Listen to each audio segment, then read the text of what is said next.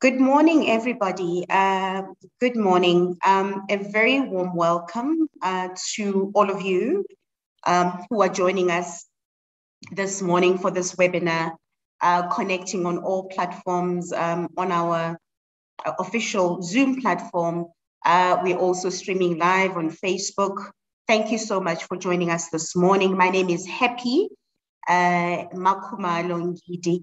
I am the Chief Marketing Officer Proudly South African, and today I'm also your uh, Program Director. A very warm welcome to all of you, including all our speakers who are online this morning, who have, um, you know, heeded our call and um, graciously accepted our invitation to join us for this, what we view as a critical discussion to have uh, today in the context of the uh, of uh, you know the economy, where we are uh, as a country uh, from an economy point of view, where we are as a country given the um, the, the, the, the, pandemic that the world faces, uh, and, and, and, and in general where we are in, in, in as far as um, our collective and individual efforts to try and ensure that uh, local businesses stay afloat uh, one way or another. The, the, the title of our discussion today is Building a Transformed, Resilient, and Sustainable Tourism Sector Through Localization. It would seem localization is really um, our number one priority for, for, you know, for a lack of a better word, uh, given all the unemployment challenges that we face as a country, uh, you know, given the fact that unemployment is truly such a persistent challenge for the country, uh, you know, our our level of thinking and our uh, loyalty to local products and local services in the context of the tourism sector we're talking to and about today would seem to be to be a, um, a doable option uh, so to speak. Um, we all know that it's been very hard. Uh, you know, the tourism sector has been particularly, particularly um, dealt a blow uh, by the pandemic. Even prior to that, you know, our economy was uh, was uh, a little uh, wobbly, um, and and and the pandemic was really just the last thing that we need need as a country and as as the sector but it, but it, you know, it there isn't. It's not all doom and gloom. Uh, you know, the past weekend was Heritage Weekend. It was amazing to see South Africans out there doing, uh, you know, what they what they you know had to do over the weekend, but also to see a bit of a domestic travel happen in the country over over the past weekend, and hopefully people still. Uh, taking into consideration uh, COVID regulations because uh, you know, the, uh, uh, the um, we may be going through a better time in terms of uh, uh, the pandemic and uh, infections and all of that, uh, but it does not mean that we're out of the woods as yet. So we still have to wear masks, sanitize, and really be, be cautious. Whether we are vexed or not, uh, we still have to be extremely careful. But like I said, it was really, it felt like spring has sprung for the first time this weekend as South Africans went about their business and it took you know several short lifts around the country, which was great. Um, but also on the back of the fact that um, you know September is tourism month.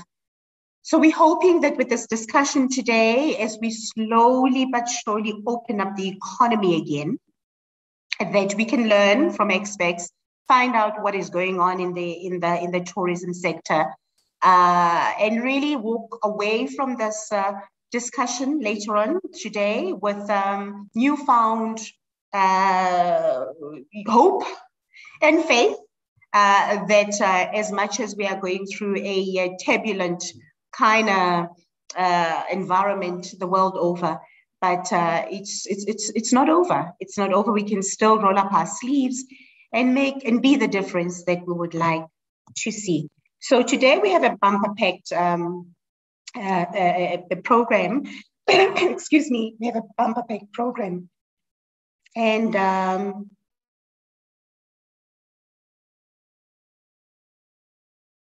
today, excuse me about that. Today we have a bumper pack program and we have a panel of experts that are going to talk to us this morning. Uh, we will hear from a colleague of mine from Proudly South African who will step in and just give us a tone about why we organize these kind of uh, engagements every now and then as and when necessary.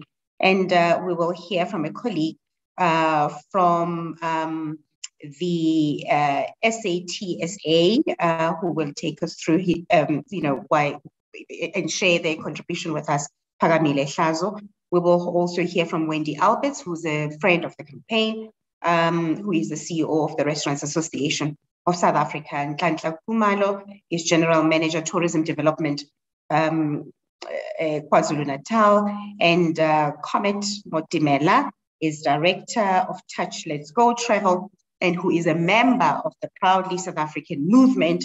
And last but not least, we will hear from Rosemary Anderson, who is National per, Chairperson for FEDHASA. Uh, so thank you so, so much. And without further ado, I'm going to request that those of you online would like to engage as this discussion is also for you. Uh, you're not invited here to just uh, listen in and have no opinion. So please, we encourage you to send your questions and or comments uh, to any of the speakers uh, that are online, uh, and you can send them on the chat on the chat box or through questions and a uh, uh, questions and answers. And also, if you are logging on from a uh, on our Facebook platform, you're also welcome to uh, send us comments and questions there, and the team will be on the lookout for that, and they'll send them through to me, and I will disperse them accordingly.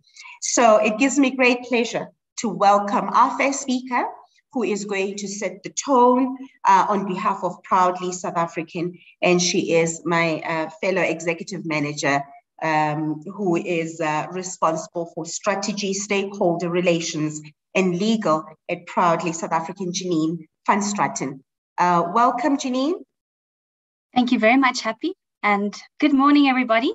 It gives me great pleasure to be with you today. I'm going to share my screen. I'm going to hop right into it. I know um, time is of the essence, and there are wonderful speakers that will that will be sharing thoughts and ideas with you, and also their experiences. So I look forward to their inputs today. I'm going to share my screen with you now. Wonderful. I think that is a success. And then I shall um, stop my video while I present. Thank you very much. Fantastic. So it gives me great pleasure to share with you our mandates today, um, to, to give you some insight into what Proudly South African has been up to these 20, 20 years um, and uh, just to showcase how we've grown, what, and just to remind those on the call today what our mandate is all about. So, as everybody knows, the, the country has been facing this triple challenge for quite some time, and um, Proudly South African was really established to to to to hone in on the unemployment part of the triple challenge. Um, it was just, and we were established in 90 in 2001, but it came about uh, the idea for a buy local campaign for the country um, came about in the 1998 job summit that Madiba hosted. So we are we are an idea of Madiba's, and we're quite very very very um, proud of uh, proud of that fact. And um, but just to just to take us all back a step, um, the buy local phenomenon is is really something that's celebrated within a lot of countries. It's not just just special for South Africa. Um, the, um, we were we were uh, modeled around the Australian Made campaign, and since then it's it's really taken on a life of its own because of all the um, all the uh, policy issues that pertain to to South Africa, as well as uh, if you if you look at the health of industry, um, etc. So Proudly South African had to had to be agile and and really look uh, to what is necessary um, for the um, uh, uh, to to really t- uh, to be um, to be relevant for the country and its needs. Um, there's also in the USA there's legislation that's enforced uh, in terms of of buying local, which is very interesting, and and various others. And and we'll be happy to share the, these presentations with you. While my presentation, I'll share that with with the team that they they can make that available. And then also, um, if you if you look at the African continent, the continent, there are a number of other lo- local campaigns, which which we are also uh, we which we also um, have consulted those countries and, and really to assist our our neighbors and also to see how they can flourish. Um, the US, US is very special given that there is legislation to to really um, to really encourage encourage government to buy local as as with with with South Africa but also um, just just looking there are quite it's quite intensive in terms of in terms of the um, America supporting their own, and it's really something that that I think South Africa can can really take note of and and also take on board. Um, the importance of localization, uh, the obvious is what we are stand what we stand for is by South African to create jobs, but by proudly South African to create jobs. So it's retain or creating jobs it's also contributing to skills development and, of course, economic development. If you spend within the borders of the country, you keep the money inside. Um, empowerment, uh, improved living standards, infrastructure development, the increase of the GDP, and also looking of um, a balance of trade, increase exports um, that decrease the imports, which is also talking about an import replacement project that we are that we are um, a part of. So these are quite, they are quite um, expected. These these uh, the importance of localizations. These reasons we all know these reasons, but often we forget. And uh, it's very important for for Proudly South African to remind everybody why it is important to choose local. Um, and I've mentioned that uh, that we were established in 2001. We answer. Our board is made up of, of the social partners that form part of NEDLAC. Um, so we do have bosses in all spheres of society and we have an independent chairman, but we are really influencing the, the private sector to buy local. Uh, we talk to the public sector. There's legislation that assists us in, in that task, but we also lobby for, for the, uh, the public sector to support local. We also um, appeal to the consumer. Uh, so we do consumer education about the importance of buying local. So we do label of origin um, um, education drives, you know, for, for, for, for the, the consumer to really turn the the product over and choose made in South Africa when they buy if they don't see the Proudly SA logo, which which does stand out. It's on the right hand side of your screen. Then of course it's all good and well to have products available, but and for people to buy products, but um and support local service providers. But if they don't know where to find them, it makes it all, all the more difficult. So we have uh, numerous projects in place to really promote accessibility of locally made products and services. So I must, I must um, exclaim that that Proudly South African is not just there for manufacturers. It's also it's also a buy local campaign to support local service providers, and we'll showcase the ways in which in which we do that. We've got a number of initiatives in place. Uh, so where does Proudly SA stand in the mix? Um, so it's pretty much um, it is a, a buy local campaign that can be supported from all spheres of this value chain. So we're looking at the retail value chain. So uh, we offer membership to manufacturers or service providers, and, and then we also uh, we are we encourage uh, we encourage retailers to join the fold, um, so that when you do go go on uh, when you do go into the stores, for instance, that that you do find locally made products on the shelves, and then we also lobby with consumers to buy uh, to buy the locally made goods. So we're pretty much uh, in the middle of the whole value chain um, in order in order for us to to achieve our mandate. And we'll and I'll showcase um, ways of us doing that. I mentioned that we that we do invite manufacturers and service providers to become members of Proudly South African. So uh, you might ask if you're on the line today, can you be a member? Um, so we do invite organizations. So if you if you run an NGO or or if you uh, uh, we we have schools on our on our books as members we have service providers on as members as well as um, manufacturers uh, so commercial entities NPOs, um, etc., really are all invited to become members of Proudly South African. We also have a number of um, um, we also have a musician on board, for instance, so and and an author. So whenever they publish, they utilize the logo and really live and breathe the ethos of what the campaign stands for. Um, so, in order for any organization uh, to come on board as a member, we have to vet companies in according to four, four in accordance with four key criteria. So that is our logo on the left hand side. And if you can have a look at it, you'll notice that the colors of the flag are embedded in the logo. So uh, that stands uh, for local co- uh, local content. We can't invite just any willy-nilly company who manufactures ab- abroad and somebody imports it to, to uh, for a made in China product to carry the Proudly SA logo. We really do need uh, the, the we really do need the products to be made locally or the services to be provided locally. And we and our membership team uh, will do due diligence in that regard. So they'll ask questions. Where do you get your raw material from? Where's the conversion of that raw material taking place? We'll also look at are you what uh, what service are you providing? Are you supporting other local companies around you? Are you uplifting the community? How many people are you uh, employing, etc. We'll ask all of these questions, which will get us to the local content percentage that's needed.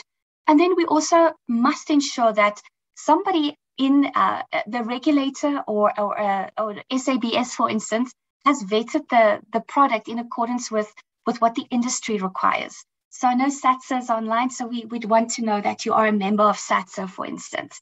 So, so that's very important because we can't have any service that's below par. It's not monitored or regulated by any any um, body that is the expert in their field or a, a product that could hurt a consumer. We have to be quite cognizant about that.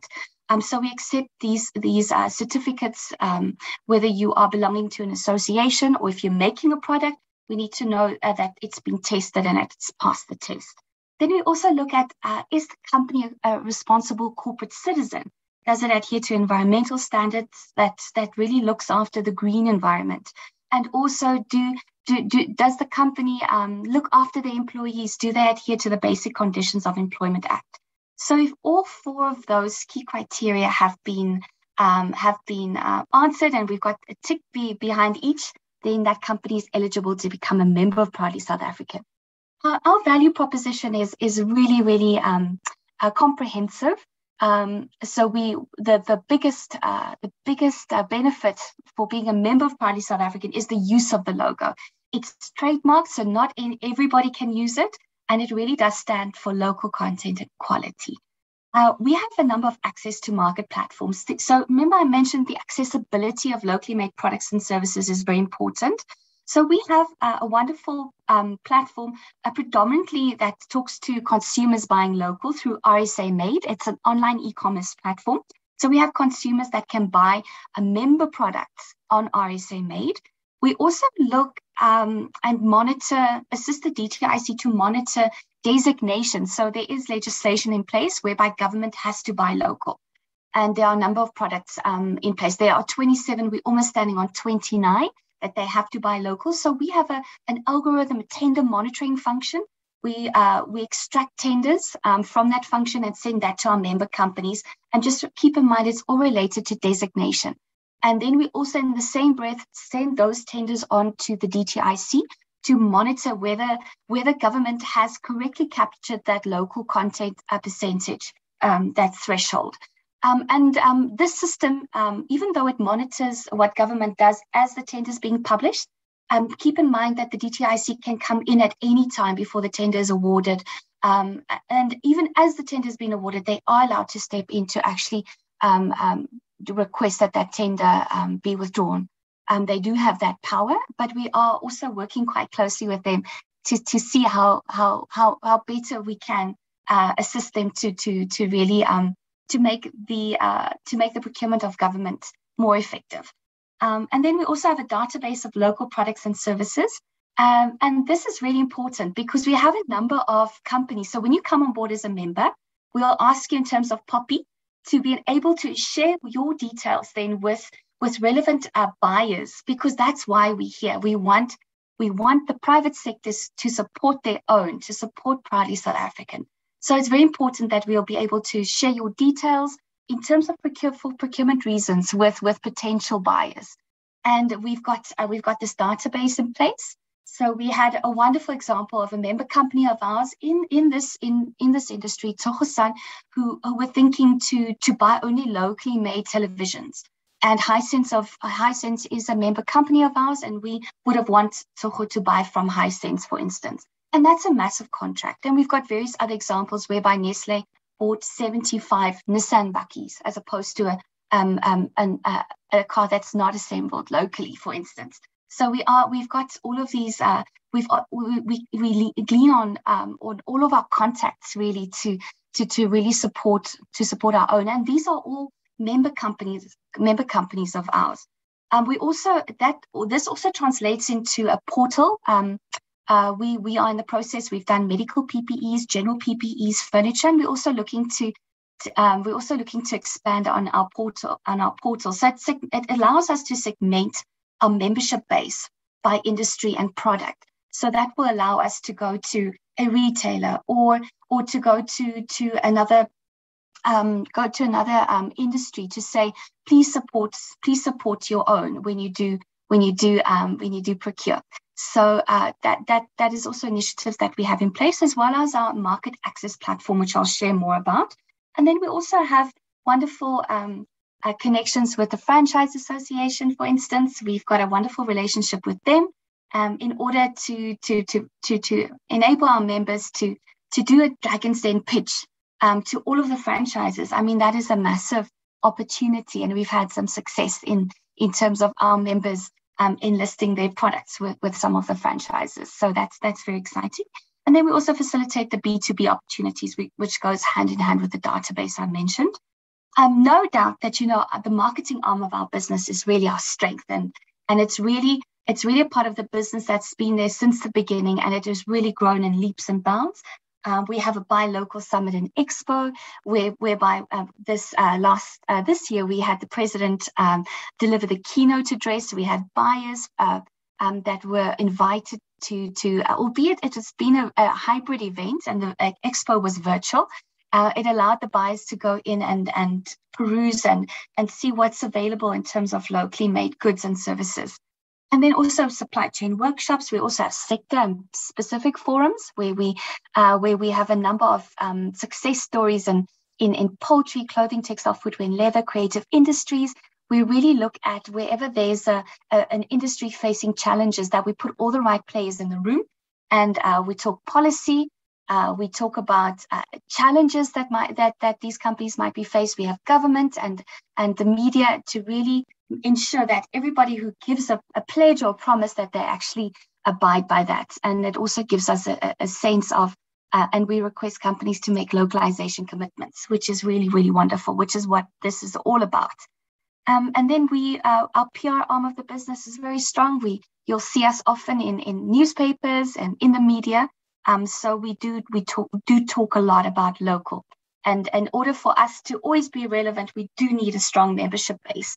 So it's very, very important that we the membership base is is really synonymous with with um, with with industry and and what's available in the country, etc. In terms of public sector procurement, these are the 27 products now that I've mentioned with the local content threshold in the middle. Um, and uh, we our tender monitoring function assesses that. And this slide really talks about how we um, how we service um, our members in terms of working with the public sector. So I mentioned the tender monitoring function. We also do an education drive, um, and we're also lobbying um, with with um, with players to do a very high profile talk about public sector procurement. So we're really the advocacy arm and the lobbying arm, but we also have these initiatives and programs in place to make that happen. I'm going to skip the slide. Um, I'm going to hone in on private sector procurement. So I've mentioned, I've given some a sense about um, commitments that we do uh, request from, um, from corporates, from businesses. We also uh, work with retailers to increase their local content levels. And we're also looking at an import replacement project, um, and we're working very closely with the DTIC's a CEO initiative, which, which looks, I think it's 42 products, which can be um, import replaced. And we're working with the NEDLAC uh, Localization Technical Working Committee to, uh, to see to it that we achieve success in that. Uh, regard. And then we also have these lobbying sessions with um, with various association bodies to make sure that they buy local. Uh, we were part of the, the Job Summit in 2018, uh, where, whereby we were the first entity or organization rather to obtain uh, localization commitments from corporates, and this will this will work very well. We then partnered SAB um, to really um, adapt their market access platform, whereby we can get corporates to post their tenders um, enlist on the on the market access platform.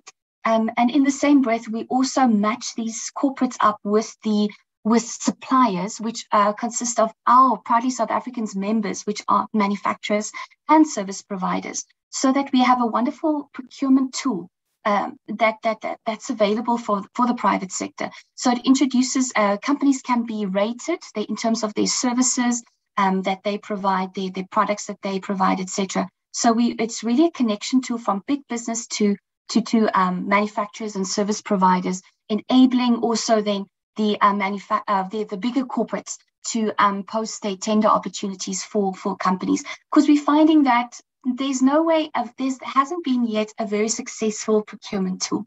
And we think this could be this could be the winner. And we really are focusing a lot of our energy on this. It's recently been launched. Um, so so that's very important um, that we populated uh, we're in the process of populating it with our members and then also visiting industry to make that happen. Um, this just talks about us getting localization commitments from corporates and um, and ensuring that we, uh, uh, for instance, we to just to give you an idea, we went to um, one of the um, we went to the banking association and we went to the individual banks um, off the back of that initial meeting to ensure that we get a localization commitment from them to buy their furniture locally as well as their uniforms. Um, so we, we we we scout for those right products. We we then uh, get the right audience through, for instance, the banking association, um, and then also we look at um, getting companies on map so that the procurement can take place. We also have a space on this map tool for companies to uh, talk about their localization commitments so that it can be they can self-evaluate and monitor their successes. But all in line with POPI we're working very closely with the Competition Commission to make sure we protect all the parties and um, that we don't div- divulge any secret information in that regard. So this is very, very we quite we're quite excited about that, given that tourism is is is such a fantastic um, industry to be in. The value chain is enormous. Um, and we look forward to this industry flourishing again. And I think the map tool will be really, really helpful in, in, in making that possible. This just talks about the portals that I've mentioned. I know time is running out, so I'll go um, over those slides quickly. We'll share the, those slides with you. This is our online shopping platform. So this is another way to reach the consumers, and this is the work that we do in that space. So it gives uh, the online store RSA made. We really do encourage um, service providers and manufacturers to, to list or list on RSA made. Um, we also uh, have different categories. So it really operates like an e-commerce store, like um, one of the competitors with a, it ends with a T and then goes a lot. So it's really, it operates very much like that because we get those questions. Does it operate like that company? Very much so. Um, and then we also have, um, I mean, prior to COVID, we did a lot of consumer activations in person. So we look forward to the day when we can do these again. Um, um and uh, these are the, we've done more activations, festival activations, online competitions, which we still continue to do. Uh, we've uh, been very innovative looking at local fashion police uh, that we did uh, um, recently consumer advertising, sports events, labor mobilization, which continues, consumer expose, and university activations. So we need to try and reach absolutely everybody who's a consumer, even on education on school level, because they do, um, unfortunately, the little, the little ones do dictate what goes into the trolley. So it's important that we also look at those. And then uh, the, uh, the master plans that the DTIC has rolled out has been quite important for us because it gives us some some insight and access to the industry at large. And uh, Proudly South African has been there to, to secure offtake agreements, yes, but more importantly is to to uh, to get the consumers on board. You know, what does it mean to buy local? So we have these e-cards that we work with our partners in distributing these to make sure the consumer knows what is local because often they don't. Um, and you'll notice there we also did one meal, many thanks. We were we were a stakeholder involved in that project, which was very, very exciting. And, and uh, as you can imagine, the clothing, textile, footwear, leather sector, poultry sector, hospitality sector all talks to the, the tourism, tourism industry on some way or other. I mean, clothing, it's unif- we're talking uniforms, etc. So it is quite quite diverse. And then we also have um, time-specific um, um, events, uh, time-specific campaigns, rather, festive season, back to school, Black Friday, Valentine's Day, etc., and just gives you insight into what we're doing. I'm going to play for you now, and, and please forgive me, there was a lot to get through, so I had to really, really motor. Um, but if I may share with you, um, to get to get everybody on board, you might you might be a part of a business today, but you're also a consumer. So I really want to uh, really want to appeal to you to to really live and breathe the ethos of supporting local. Join the Proudly South African campaign. Um, we are we uh, we've got a wonderful um, we've got a wonderful support in Dr. John Kani. Um, he did two of our ads, and you would have seen. I'm sure you would have seen our TV ad where we are mobilizing South Africa to to to to um, to support local, making it a lifestyle choice. And we are quite excited to also launch very soon. Um, uh, tomorrow, Thursday, we're going to be launching Living Lekker Locally, our next phase of this campaign. So I'm going to play for you our ad.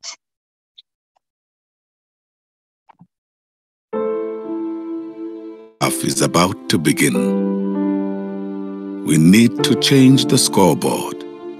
It's time for all of us to pause and rethink the game plan in order to save the future. I call on all of us to be game changers because greatness isn't reserved only for some people. By buying local, we're choosing to create jobs and sustain the ones we have. Time and time again, South Africans have taken destiny into their own hands, creating products that the rest of the world wanted to buy. See, the world remembers about us what we sometimes forget. But it's time for change. Let's all buy local. It's game time. Zanzi. Local is lekker. Everyday decisions shape our future. Thank you so much. That is my presentation. And if you'd like to contact us or join the campaign, please do so via email. The address is info at proudlysa.co.za and we'll be happy to, to help you there. And uh, we also we have a website, www.proudlysa.co.za. Thank you very much, Happy. Thank you so, so much, uh, Janine. Um, much, much appreciated. And um, and I see you asking, you know, if, if, if, somebody would like to join the campaign. There already, there's already some, while you were talking, uh, that's how captive your your presentation was. Somebody has already asked us, how do I join?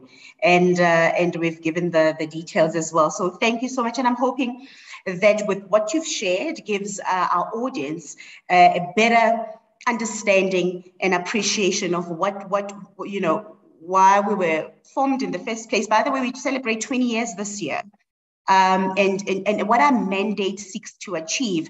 I see even on the chat box, somebody also asked, um, you know, who owns Proudly South African? I think that was the that was the question and uh, and we've answered and gave them context that we are an NP, um, a, a, a, non-profit organization, and uh, formed uh, by NEDLAC, uh, by Madiba rather, right, uh, 20 years ago, and uh, we are represented by four constituencies in on in NEDLAC. So thank you so much, Janine. I am hoping that there will be questions for you.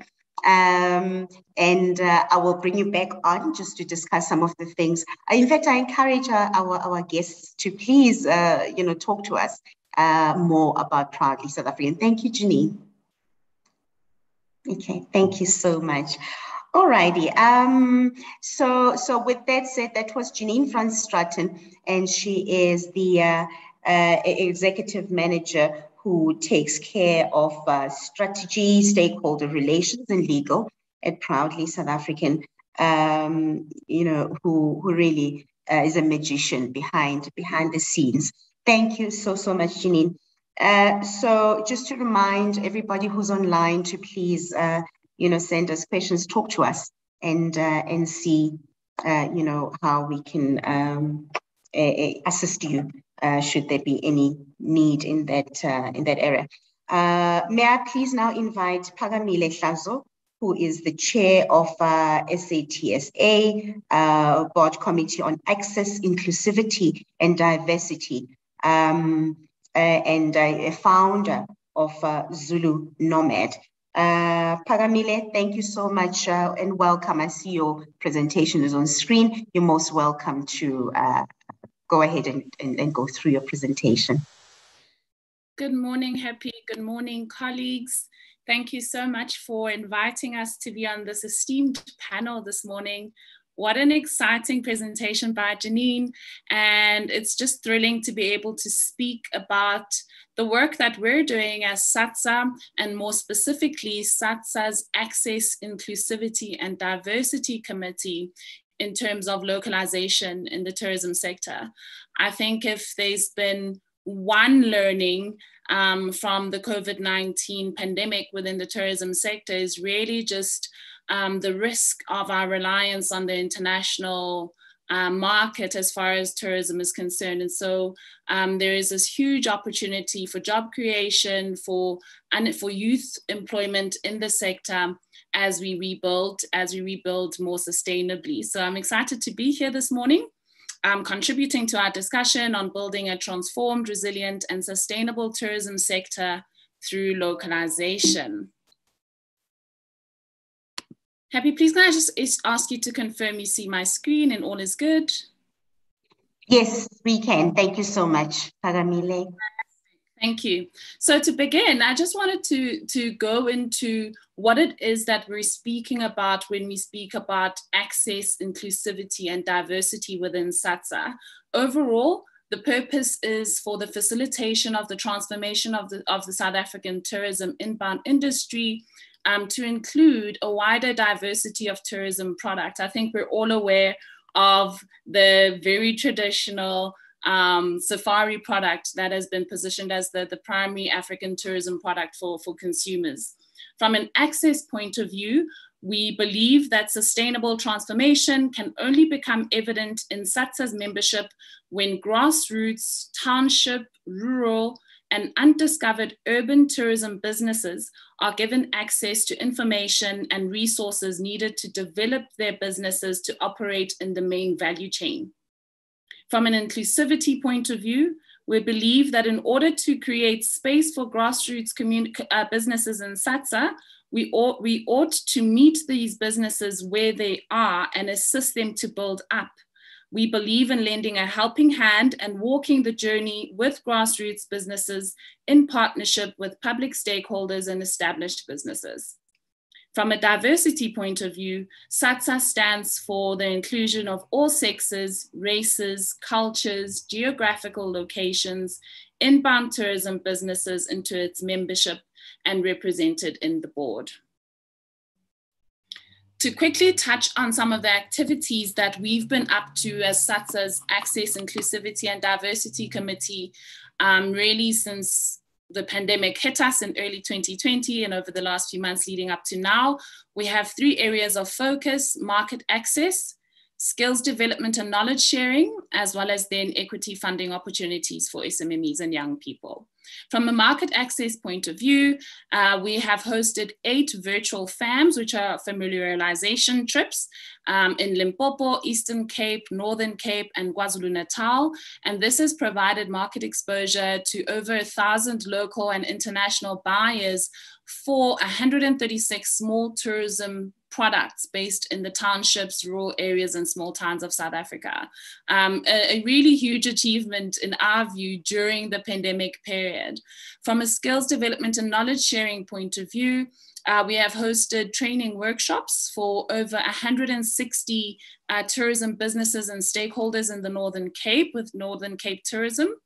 Um, we have had the, the privilege to contribute 48 mentors into um, the TBCSA and National Department of Tourism pilot mentorship program, which is currently ongoing.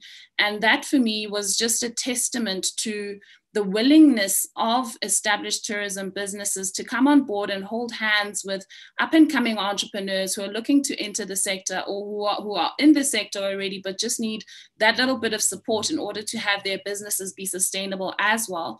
When we made out the call to SATSA members, deep in the throngs of the impact of, of COVID 19 in their own businesses, we had um, SATSA members with over a thousand years of experience offer their services to become mentors for free um, to young people in this sector. And that is just a huge achievement. And again, a testament to the willingness of the sector to transform and the willingness of the sector to contribute towards transformation, whatever it is um, that that looks like from a practical point of view. We've also done some work um, with the Motherwell Tourism Association in the Eastern Cape. Um, this is a proof of concept because we, we as the SATSA Aid Committee are represented throughout the country.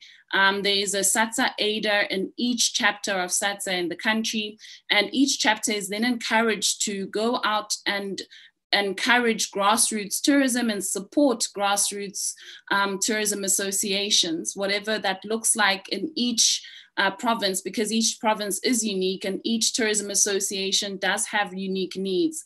And so we're using the opportunity in Motherwell um, to work with the township community there and the tourism associate and set up a formalized tourism association that would be able to benefit from SATSA's um, vast network and expertise. We also then rolled out our Ignite Your Passion campaign, where we encouraged grade 11 tourism students in Motherwell and Knysna um, to hold on, to keep the faith, um, to understand that even though the sector is going through a terribly difficult time at the moment, there's definitely opportunity still for young people in the sector and they must not lose faith. Instead, though, they need to focus on, on opportunities for entrepreneurship as they come into the sector as young innovators for the tourism sector of the future. Um, from an equity funding point of view, we were terribly excited at the beginning of, of the year with the launch of the Tourism Equity Fund because this was for us an opportunity to do another proof of concept, which we saw as a blueprint for sustainable ownership change in South Africa's tourism. Again, we have identified that several gaps exist between business owners who are looking to exit their businesses and young people um, or young professionals who've been employed in some shape or form in the tourism sector who are ready to take the leap and, and go into business themselves and just don't have that, that equity to get them into these opportunities. Um, unfortunately, we're all aware that the Tourism Equity Fund has not continued.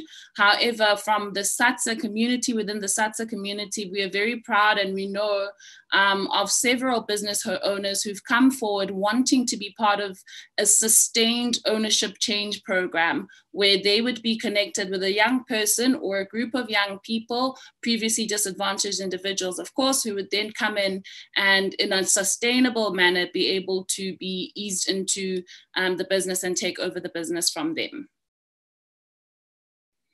In terms of Let's Innovate Tourism, we have three mission goals. Um, the first is to get South Africa's established tourism and hospitality businesses visible and generating revenue online. The second is to empower South Africa's micro and small businesses in tourism and hospitality with the digital and technology tools that their businesses require to thrive in the digital economy and to create more jobs. And the third is to encourage young people aspiring to be employed in tourism and hospitality to rather level up and create an army of entrepreneurs, leveraging their heritage and developing much needed new tourism product for both South Africa's domestic market as well as international travelers when they return. And we aim to achieve this through our 12 month program, which launched this September, uh, where we will be running weekly podcasts, uh, podcasts reaching a minimum of 1,300 businesses in tourism in South Africa, as well as monthly engagements, including webinars. Uh, the monthly webinars are, are targeted at um, creating awareness on the role of innovation, entrepreneurship, and technology as South Africa's tourism sector rebuilds. We also will be having monthly mapathon events where we, uh, in each province, will be mapping along with young people. This involves tertiary students, um, in technology studies and as well as tourism and heritage studies to come together and learn about agile methodology and how their skills can be applied in the tourism sector of the future. From a workshops and training point of view, we'll be working with technology company collaborators to workshop and train um, targeted tourism and hospitality SMMEs in South Africa as well. And then obviously we have several media partners whom we'll be working with to amplify the, the work and the results um, that we expect to see. Uh, in terms of our outcomes and expected results, we're looking to create a tourism and hospitality sector in South Africa that is empowered with digital and technology tools, processes, and systems that will help them grow sustainable businesses and create jobs a tourism and hospitality sector which is globally competitive. We're looking to create new jobs, and this is very, very exciting for me as a young South African, understanding the state of unemployment and youth unemployment specifically in this country. We have an opportunity in this sector to create jobs for software engineers, for data scientists, for copywriters, for designers. You know, we have new roles to be created in SMMEs, uh, for example, digital marketing roles. Uh, we have an opportunity to create new SMMEs altogether um, who will be creating new tourism product that currently does not exist, that is targeted at the tourism consumer of the future, right?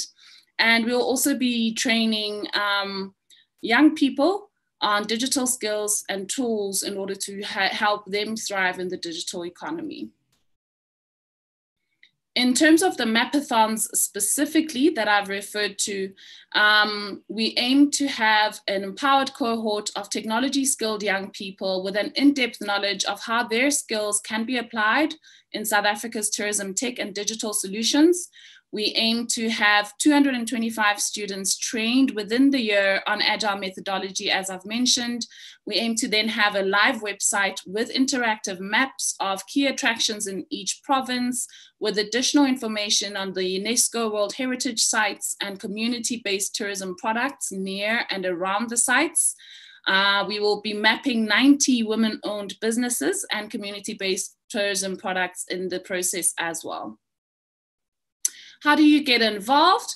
We invite absolutely everybody on the call this morning to get involved for provincial and local tourism bodies um, we're obviously looking to have as much awareness within grassroots SMMEs. So you have databases of tourism and hospitality um, SMMEs that have been on trainings before, that have applied for funding. Let's get together those databases and make sure that young people are able to receive all of this information shared via the podcasts and the webinars and the training platforms, etc.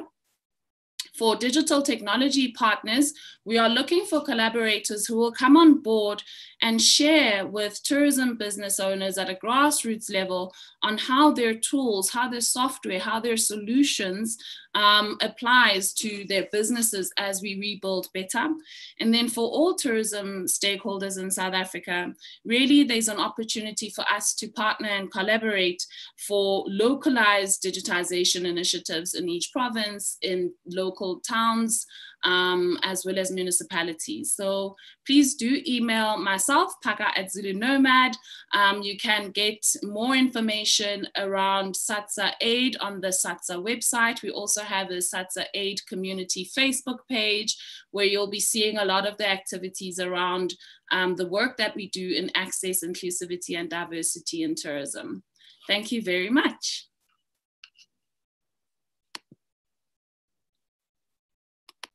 Thank you so much, uh, Paka, uh, for that um, well uh, put together uh, presentation that you've shared with us. Really, really insightful. Thank you so, so much. Um, and I see, may I have you back on screen, please, uh, Paka?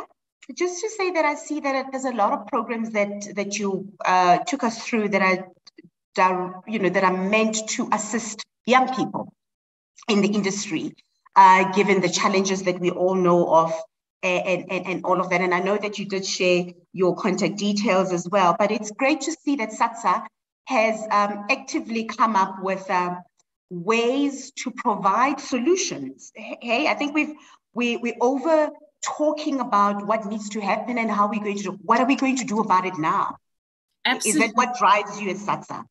Absolutely happy. I think you know, we're, we're so grateful to SATSA as an organization for giving us this platform as young people to actually drive these initiatives and drive these programs ourselves because we've traveled this country as young people, as young business owners, because we've traveled this country with domestic travelers, the primary um, consumers of our products as small business owners in the tourism industry, as Black business owners, is actually domestic travelers. And so we understand the opportunity in this sector. And we want for there to be able for room for as many young people who are we really do have an opportunity in this sector to be given, you know, to be empowered with empowered with those skills, with the opportunities, with the information that they need to thrive as we rebuild. It's a very, very exciting time for us. We come from a difficult time, but we're excited about the future and what the future holds for us. Fantastic. We do have three requests online uh, where the attendees are asking if we could, if I could please ask you very nicely, if you would allow us to share your presentation with them afterwards. Would that be okay?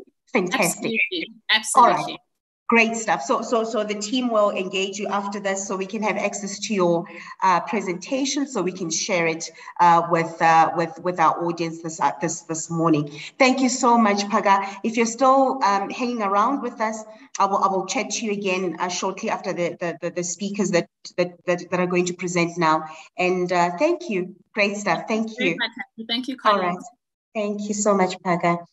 Alrighty, so that was uh, Phakamile uh, who is representing SATSA, and Phakamile is the Phakamile Hlazo is uh, is the chair of uh, SATSA Board Committee on Access, Inclusivity, and Diversity. And uh, you know, it goes without saying that her presentation focused exactly on that. There's quite a few examples uh, and programs that she shared with us that are very accessible, that are that are inclusive and very diverse uh, for young people in the tourism space. Thank you so much. Keep those uh, uh, comments and questions coming in. And, and yes, for those of you who've asked, if you could please have access to the presentations with the greatest of pleasure, by all means, we will make it happen.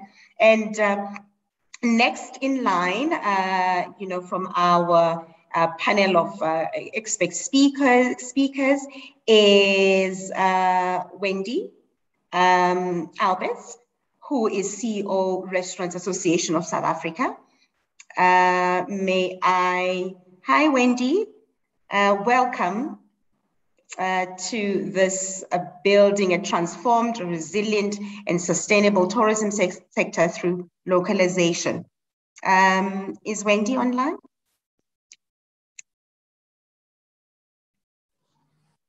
Okay, there we go. Hey, Wendy. How are you? Well, thanks. How are you? Good, good. Thank you. Thank you so much for inviting us today. Of course. Wendy, I feel like we need to give you an access card at Proudly South African because every month or every second month you are with us, you know, talking to us, trying to make a difference, uh, you know, the best way you can. I love South Africa. I love the people. I love our restaurants. I love the landscape. I even started hiking. So I'm an avid hiker and I'm exploring all the highest peaks in South Africa, nine peaks. And I'm going to journey and tell everybody around South Africa how amazing tourism and tourism destination is. So that's oh. on my episode. Oh. So as in quite nicely professionally. Oh, fantastic. We can't wait to hear about that. And I see you are nicely branded today. You're not messing around, Wendy. You're representing the quite well.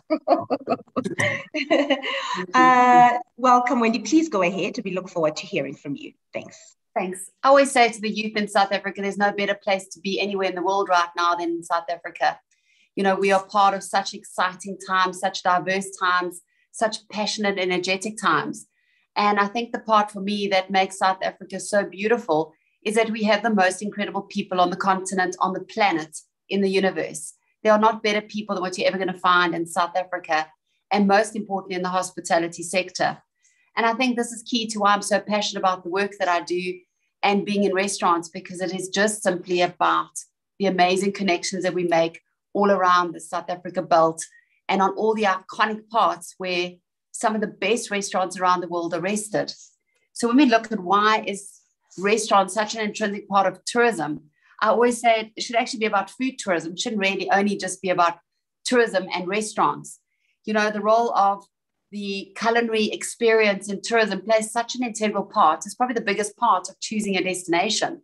And more often than not, the restaurants that you choose to visit are part of destination tourism to invite you to really enjoy the accolades of many restaurants.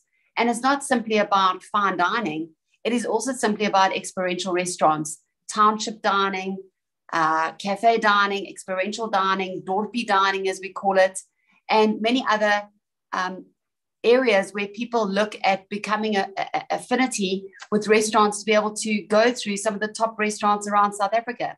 So we actually have people that travel from place to place to go and enjoy culinary excellence.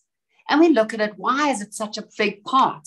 You know, one, we look at the opportunity for people to travel around the country to explore places.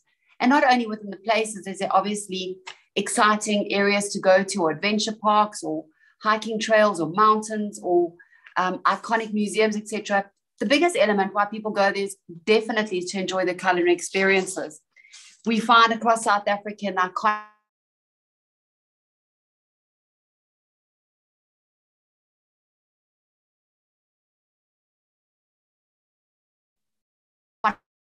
parts. We've got these wonderful to explore what those towns have got. And if we look at the Western Cape in particular, it's rich with, with heritage, diversity, creativity, and the opportunity for people really to come in and enjoy premier food in the most wonderful, sophisticated, friendly environments. The landscapes that some of our restaurants are sited on, you can't find anywhere else in the world. You know, if you look at those beautiful cave restaurants in Hermanus, we look at the busy, creative nightlife belt of Vilakazi Street. We look at Maboneng. I mean, Maboneng is so close to my heart. I absolutely love it. We look at other areas like Parkhurst and Woodstock and various other beautiful, densely populated areas where there are restaurant belts that offer variety of wonderful experiences and that really are top notch, not only top notch from the decor, the design, but the actual offering in terms of what their speciality is, speciality dishes, combining chefs with experiences, but most importantly, I think it's a cultural component that goes in with the various people that work in these different areas, whether you're in the hustle and bustle of Joburg, or you're in the Platteland, or you're in a Dorpy, or you're down in the Western Cape, or you're on the waterfront where there's sophisticated travelers. We engage with a beautiful variety of people who are the restaurants of South Africa. They are every experience. And they are so much a part of tourism. I think also the forgotten part of talent because that is engagement that you get to the rest of South Africa. That is the point of destination. That is your tour guide, that is your tour book, that is your atlas, that is your map. And so often, where we're training people within the restaurant space, we neglect to actually train them on tourism and what happens with local tourism. So, as we move through COVID, we've certainly seen that the local tourism has definitely been decimated the restrictions on interprovincial travel showed how imperative it was for us to bring local tourism to places like Hartbeespoort Dam, Parys, Riebeek-Kasteel, uh, places up in the west coast, your Paternoster, your Witbaai, etc. We look at other places on the KZN coast, your south coast, Amanzimtoti, all these beautiful little areas where these really quaint and wonderful little outlets simply didn't have the foot traffic or the numbers to sustain themselves. And that has sadly been lost. And those restaurants really need to form such an integral part of the redevelopment of local tourism. And I'm hoping that the new Minister of Tourism will find me as exciting as when I found the rebuilding of the tourism sector with inclusion of all these beautiful restaurants that we can reopen and invite people back to those beautiful, iconic places and bring people back to life, bring their businesses back to life, bring people back to work, to their jobs, to feel proud to be South Africa, to have a sense of purpose and dignity, and to be able to contribute to society and to go home feeling proud of the work you do with the integration of actually serving people, because that's authentically who we are. We've got some of the best food quality around the world. We grow local, and I love, you know, we are local as lekker because we're all about that. In many of our dorp areas, it really is a complete and utter sustainable opportunity we get a lot of the products grown from people in the community. We get bread made from the local people. Our little artists make their paintings and they put all the uh, brick and brack in the, the restaurants. And if we look at the damage that COVID has done by the restrictions on interprovincial travel, the extension on the whole value chain has collapsed. And if we look at a town like Franschhoek, I think it speaks volumes of what is truly destination tourism for food tourism in South Africa. A variety of restaurants, sophisticated chefs, beautiful art galleries, a combination of experiences, wine tasting, wine farms, the components of gin tasting, innovation, creativity, experience, beautiful people, and every single restaurant unique, even though it's a densely populated area with a ton of restaurants in it. So we need to really look at ways of how we remodel the South African tourism structure to be able to constantly incorporate restaurants. I always say we are often far more reminded of where we eat than where we sleep. You know, beds are comfortable places as long as sheets are clean and uh, there is a um, safe place for us to rest our heads. But we always remember where we eat. Doesn't matter where in the world we travel, eating is intrinsic of the delivery of the cultural experience of every place that we go to. I'd also like to just thank South Africa for loving the industry. We are definitely South Africa's most loved industry. You know, we're a place where people get together, where you can get together for your morning coffee, your freshly brewed coffee, or you can get your toasted sandwich or your croissant or your breakfast. We certainly are the office space meeting. We've seen through COVID, we become the boardrooms of many businesses. We become the meeting rooms of many businesses. And we've even get, become the independent office of many businesses. We are your every occasion, your birthday celebration, your weddings, your ceremonies, your celebrations, your joys, every single occasion that deems to be put into a momentous occasion as all part of who we are as restaurateurs. And I think we bring life together. We bring life together in a cultural way where we certainly can live in unity. We look at the World Cup. We come together in restaurants. We come together with big screens and we get goosebumps because we are authentic in wearing our proudly South African gear. And we are completely in a space of complete and utter camaraderie. It doesn't matter who our neighbors are sitting next to us at tables. We forget about what destinations we come from. We simply are bound in, in unity and we create these moments that long live within the memories of us. And if you go back into your mind and you unpack some of the best moments you had, they've always been in restaurants where it's been busy, energetic, music, the celebration of people, the beautiful people of South Africa, the staff that have contributed to it, and the occasion that you've celebrated. South Africa, for me, in, in particular in the restaurant industry, represents everything that's colorful. When I look at our beautiful South Africa flag, it speaks to me of every level of culinary excellence and experiences that we have. And I'm very excited for the future, the transformation, the diversity, the opportunity to become evolved and look at new ways of being innovative. Our food trucks, our food stalls, our roadside food, our township cuisine, our cutting destination, the rebuilding of our fine dining, our wine tourism, and all those beautiful restaurants, picnic spots, public parks to bring people to spaces where they can safely enjoy meals, our events, our um, outdoor events, our places like Casalinga that has all these wonderful shows and, you know, tapenade on tap and um, pinotage on tap and all these beautiful experiences that we give to South Africa. I'm proud to represent the restaurant industry in South Africa. I look forward to working with the youth. I look forward to building the youth. I look forward to inspiring the youth and reminding them that when it's a choice of career that you take to move into, it's not just a job. It is a lifestyle, it is a love, it is what you wake up to every single day, it's what you go to sleep to every day. It is a seven day, 365 day that you grow to love, that you're passionate and that you deliver on every possible experience on. And I'm looking forward to creating more holiday destinations with more culinary experiences that we can rebuild our country to be phenomenal and that we are a sought after iconic destination by all places around the world to come to South Africa and enjoy who we are. Ubuntu for me, I'm proud to be South Africa. I honor Madiba, and I hope as we move through the next phases of COVID, we will always stand in unity together and be reminded that food is the cornerstone of where life begins, breaking bread together today and always. I cheers and salute everyone in South Africa who works in our industry. Thank you.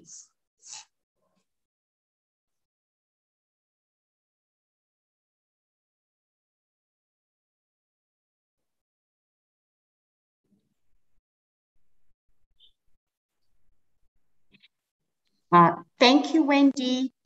Thank you so much. Sorry, I was a little technologically challenged, uh, but thank you so much. And um, let me tell you that you're such a great storyteller, um, you know, very captive.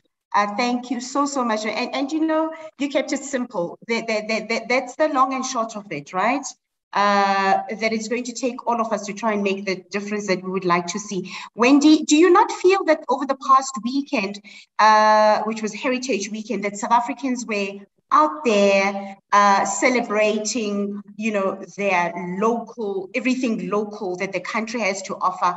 We were out in restaurants. You made reference to, you know, the likes of Vilakazi Street, Maboneng. Uh, you know, the, the country was busy, right, from a domestic travel perspective, but also we just really honestly went out there. We're in restaurants, we were hanging out, uh, you know, taking obviously, you know, necessary precautions, but but but uh, but uh, it was great to see, don't you think? I have to say that you know, for me, it was so absolutely beautiful and riveting to see South Africa come alive. The roads were busy, the restaurants yes. were busy, the yes. accommodations were busy, people out and about looking for experiences. They were out in the Dorpies, Dullstroom, Clarens, Parys, the yes. Free State. And people certainly were, were in awe of being able to experience South Africa. And in some which way, it's beautiful that people haven't been able to just so easily travel overseas because we've been able to rebuild our economy. Yeah. And I think a weekend and a long weekend, especially Heritage Weekend, that is so iconic to us in South Africa, tells the tallest story of why it's so imperative for South Africans to invest in local. Yeah. Because if we continue to put back into our country, we can rebuild so much so quickly and we can bring businesses back to life and beautiful people back to their jobs. Absolutely. And I think this weekend spoke the truth of where yeah. we can move to as a country. I was very proud to be out. I love being out. I went to a place which I'd never been to before called Clocolan um, in the Free State. Yes. And there were two beautiful farm stores. The one was called The Cabin, and the other place was um, a place called Constantia. Mm-hmm. And they were both intrinsic of the cherry history and the cherry farm history. Wow. But I was absolutely mind blown by the experience and the creativity and the beautiful people that were so excited to come back to work. Yeah. And I learned so much about the heritage of that little town through the beautiful people who served the meals and to engage with them to tell me all about what else was happening in destination tourism. So Clocolan is definitely a place I'd recommend to people to travel to. Friendly and beautiful people all around that town. Oh, fantastic. Listen, Wendy, there's so much to see. We have so much to see. So I've never heard of that place before. I will Google it, I will find it, and I'll try to visit. And because it's about that, it's really about experiencing our own. Um, and it's still affordable to be able to travel locally, uh, you know, from a domestic point of view. You don't have to have loads and loads of money. Don't let anybody fool you. It's accessible, it's affordable, it's uh, you can drive around and really, you know, get to enjoy. But last weekend also demonstrated to us that we can all play our part. Absolutely. You know, you know, we can all play a part. The restaurant you went to, uh, whether it's a Shisanyama, whether it's the farm you went to, you know, just by being there and contributing to the uh, to keeping that business afloat. Like you say, you were you saw people being happy to be back at work. That's what we want. We mm-hmm. just want to work. Uh, you know. You know what I love? I love that people become that they share. You know that we certainly have um, highlighted those beautiful destinations who do want to rebuild their businesses, who make it affordable for South Africans. You know, yes. we still got this massive top end who are reliant on international tourism, which certainly is not coming in. Yeah. And we see that many people are sharing on social media, which is so lovely because yeah. it is by repeat business that we are able to find these little nuances and these these hidden gems all around South Africa. Yeah. You know, and experience new ways of, of filling our lives with purpose. You know, I went up to Mafadi, which is the highest peak in South Africa. It's a, a five day hike that we took to the hills. I never knew that there was a place like that in South Africa. I never knew about Injisuthi.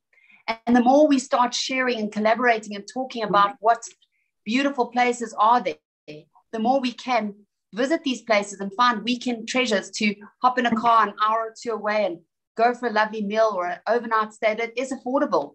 That's as affordable as as what it is to go camping or to go glamping or to go to a farmhouse. And I think it's so important that we all just continue to share the moments that we have in these beautiful restaurants and any iconic destinations we travel to. Wendy, you and I have just confirmed that local is lekker, uh, which is a did. It is lekker, and we are here to demonstrate just how lekker local is. In fact, when I do my parting shot later on, I'm going to share with you, with the audience, a new campaign that we're launching on Thursday called Living Lekker Locally. You've just told us about it, how to live lekker locally, you know? Uh, so yeah, thank you so much, Wendy. Always a pleasure to talk to you. Thank you. Thank you so, so much. All righty. Thank you so much, everybody. And now um, we look forward to, uh, oh, and that, that was Wendy Albert, sorry, sleeping on the job a little bit. Wendy Albert is CEO uh, for Restaurant Association of South Africa, uh, a great, great friend of the campaign. Um, I forgot to say to you, Wendy, those accolades behind you tell a story of how an incredible hard worker you are uh, for the industry. Thank you so, so much. And now I'd like to invite onto the podium uh, Mr. Nhlanhla Khumalo Umdungwa Umbulazi uh, Umzilikazi kaMashobane. Khumalo, he is smiling. I have got brownie points from Nhlanhla. Uh, thanks, thanks. beautiful, um, uh, you know, welcome. Nhlanhla is General Manager Tourism Development uh, in KwaZulu-Natal. Sawubona Mdungu. Uh, Sianbona, Sianbona, uh, good morning to, to yourself, um, my fellow uh, panelists, as well as uh, all the participants uh, in this session. I'm Nhlanhla Khumalo from Tourism KwaZulu-Natal. Uh, I'm responsible for tourism development. Um, I, I, will be addressing two questions that have been I've been requested to talk about. The first question deals with um, how tourism KwaZulu Natal implements the increase in, on tourism spend. And the second question is about uh, what are we doing as the province in order to ensure that uh, the tourism sector is transformed. But before I can address those two questions, I think it's necessary to provide a, a scenario uh, that will paint a picture of the current situation that is prevailing as a result of the pandemic. I think we are all aware, and it is a fact, that uh, with uh, the travel restrictions that have been introduced um, uh, within the country and uh, uh, been introduced by other governments, um, in, in other countries as well have caused a severe, severe impact on the tourism industry. We, we, we, we, we, we have seen uh, the, the tourism businesses uh, not being fully operational.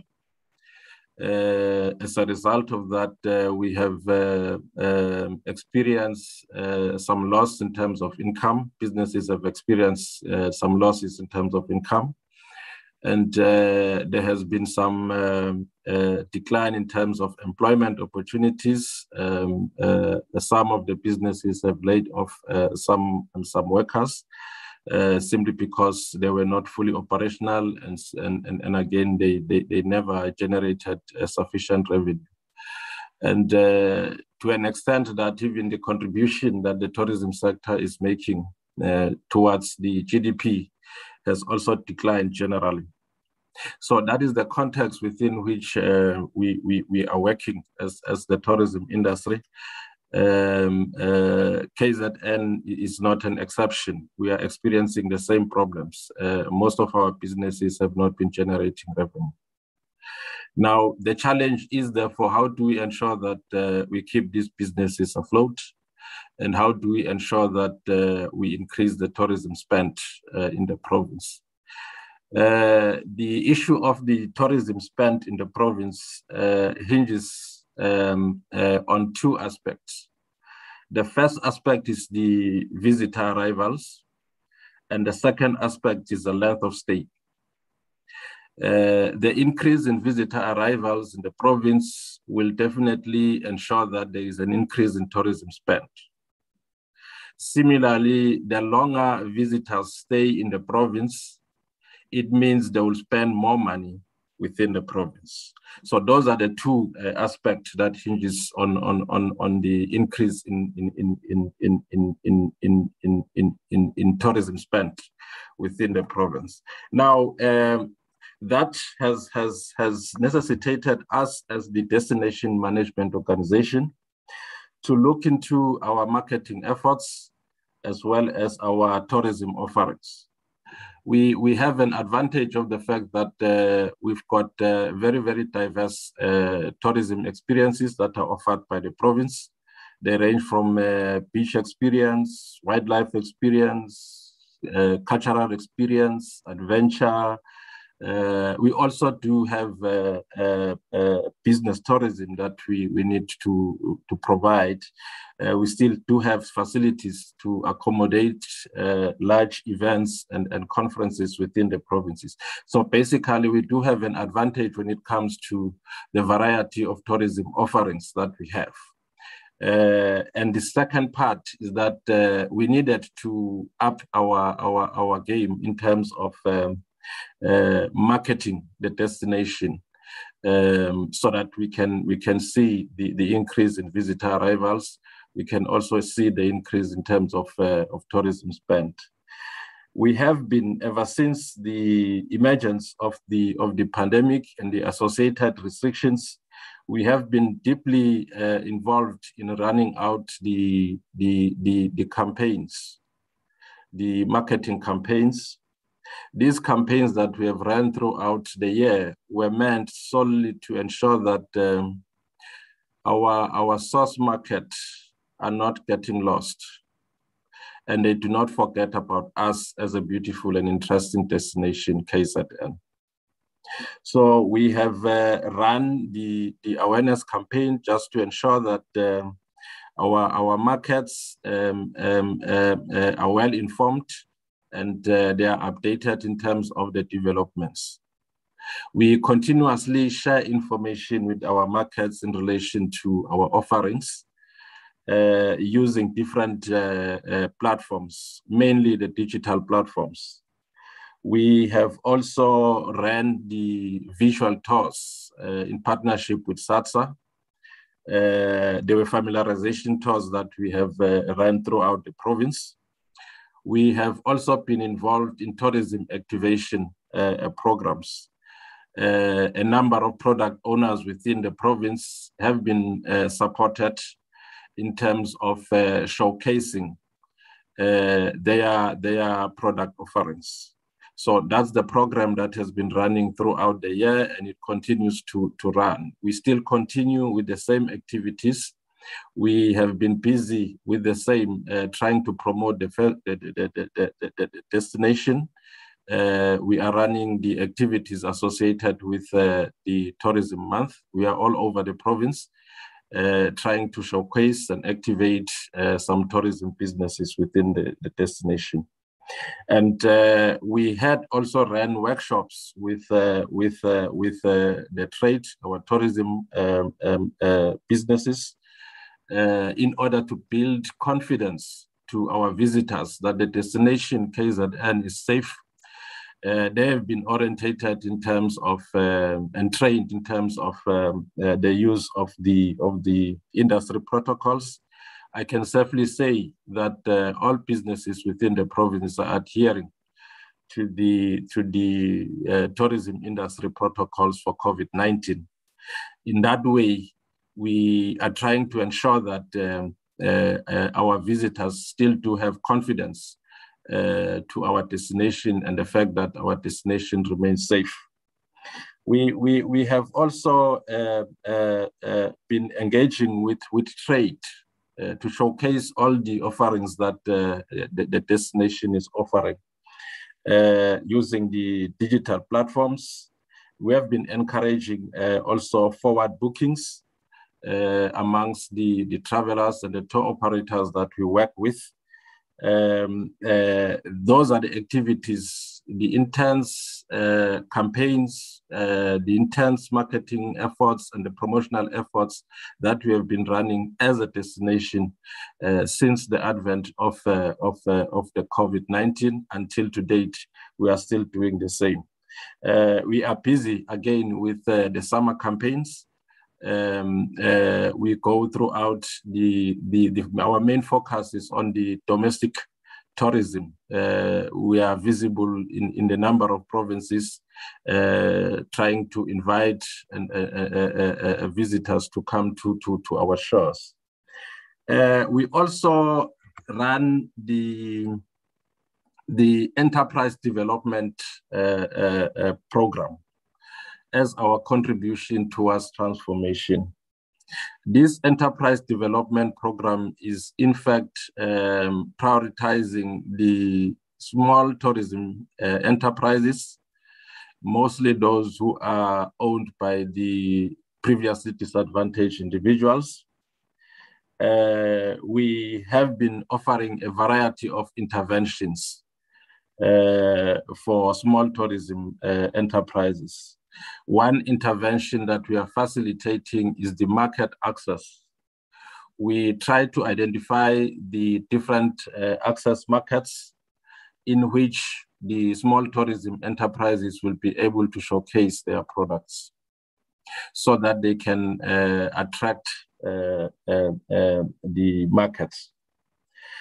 Uh, recently, as a result of the pandemic, we have been using in the main digital uh, uh, uh, access markets. online, we have been participating, supporting the our small tourism enterprises to participate as well. We also, as part of the interventions that we have, we've got uh, the capacity building uh, program. Uh, we have been working hard in order to support the small tourism businesses to to with a program called Digital Transformation. We have been implementing this program effective from the beginning of the financial year. Uh, we shall continue up until the end of this financial year. We are assisting these uh, tourism enterprises with digital tools that they can use to operate their businesses. In terms of bookings, in terms of bookings and reservations, also in terms of uh, building their websites uh, so that their websites are agile. We are also assisting them in terms of packaging their products in a digital manner so that they are easily presentable in various digital uh, uh, uh, platforms that are out there. So there are a variety of tools that um, the, the small enterprises have been assisted with currently. And uh, further to that, they are being trained on the digital skills so that they can be able to apply all of these uh, uh, uh technological tools uh, to operate their businesses and to market their products. So we do have a, a digital transformation program in place. We, we have been also um, uh, running a, a, a provincial tourism relief fund um, uh, with effect from with effect from March uh, uh, this year. The first intake um, was between March and April, and we have concluded the first intake. We are opening up again um, the second intake of, of, of, the tourism relief fund in the province. So we are um, uh, receiving applications. We started um, the process uh, on the 27th, which is yesterday for the second intake. We are trying to support the, those small businesses who have been hit hard uh, by the, the, the lockdown restrictions in order to get some, some form of relief in terms of funds that uh, the provincial government has set aside for them. So we've got uh, a 20 million uh, tourism relief fund that uh, we are working on in support of the small tourism uh, enterprises in the, in, the, in the province. As part of the enterprise development program, again, we run the mentorship and coaching program for the emerging uh, tourism uh, enterprises. So we link the emerging ones with the experienced uh, tourism businesses uh, so that they will be able to guide them throughout the process of doing business. Um, uh, and in cases where they had to experience challenges, the, the mentors and the coach are available to assist the small enterprise uh, uh, uh, uh, uh tourism businesses within the province. So these are the interventions that we have in place in terms of transformation and also in terms of trying to ensure that under the circumstances, we do increase our, our, our tourism spend as the destination and as the provinces. Thank you. Let me back there, Happy. Thank you so much, uh, Mr. Khumalo. Thank you so much. Uh, your presentation is well received uh, with, uh, with loads and loads of uh, opportunities that you've highlighted uh, in your presentation. What caught my attention uh, over and above everything else, obviously, is the access to market opportunities that you mentioned, that you took us through in your, in your presentation, because I, I would imagine that you agree with me, uh, Mdunga, that you know, it's one thing for somebody to have a great business in the context of the industry we are talking about, whether it's a, you know, a boutique hotel, a lodge, or a restaurant. If they do not have access to market, they will shut down, right? It defeats the purpose if nobody supports them. Yes, in, in fact, in fact, you, you are right. That's one of the challenges that we had identified that uh, efforts are being made to capacitate this, to establish and capacitate uh, uh, uh, tourism businesses. But the reason why they do not grow and, and the reason why they are not viable is because they do not have access to market. So that is a support that we are providing uh, we have been helping them to to to present their products and their businesses in different um, uh, market access platform. Uh, those market access platform that makes available uh, many um, uh, tourism trade uh, so that they will be able to form some business linkages. We do those market access platforms that are within the country, and we also do those that uh, um, are international in nature. So that's an access that we support them to, to participate in. So it does bring some some some some relief because they are able to form some linkages with uh, other like-minded businesses from outside the country, and uh, they, they are able to form some deals mm. so that they can have some fair share of the market as well mm-hmm. to sustain their businesses. Mm-hmm. And, talk about that. Um, there's a there's a, there's a quick there's a question online that speaks directly to that.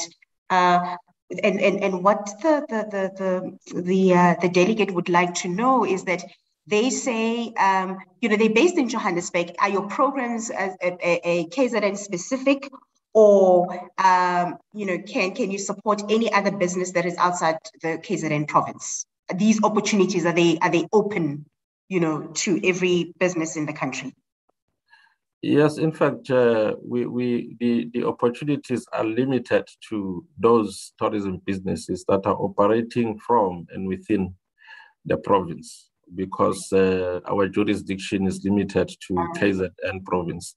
Okay. So uh, that's that's the reason why it is meant all these opportunities that I've spoken about are meant solely for businesses that are within the province. Okay. All right, uh, great stuff. And, and just a quick one, uh, which I think is important for you to tackle now. How is wildlife incorporated into tourism? Would this be your jurisdiction and mandate? Uh, even though it's not our jurisdiction as tourism KZN, but okay. it is a tourism resource that is available in the province. Uh, it is uh, wildlife is managed by Ezemvelo KZN Wildlife. However, yes. the tourism facilities and the resources that are, are within the reserve, uh, are further promoted by us as part of the, des- the destination promotion as TKZN. So they are accessible for tourism purposes. We've got uh, a lot of facilities in the nature reserve that we have.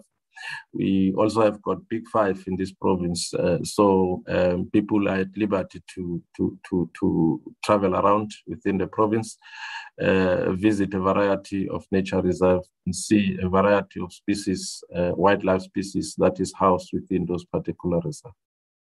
Okay, thank you so much, uh, Mr. Khumalo. We're very well received, and thank you so, so much for your contribution uh, we hope you're still with us online for further discussion uh, after our two speakers coming up, but we really, really appreciate your contribution. Thank you. Uh, Deboho Musweu, who's online, you, there you have it. Uh, Mr. Kumal has answered that these programs he was talking about are specifically for the KZN region. But having said that, I would imagine that the, you know, if you think back to uh, Phakamile's presentation from SATSA, the were her presentation was the touched had had, had uh, different elements and touch points out you know from an on a national perspective also wendy uh, wendy's presentation was about opportunities all around honestly as opposed to uh, just one region but mr Khumalo has indicated to us that uh, they are mandated to focus uh, in the in the KZN uh, province specifically. Alrighty, I would like to now welcome uh, our next speaker to address us on this uh, program, and uh, they are a member of the campaign. Um, member of the campaign in the travel and tours space. Uh, you know, his name is Comet uh, and he is director Touch Let's Go. Touch Let's Go Travel Tours Agency, a proudly South African member.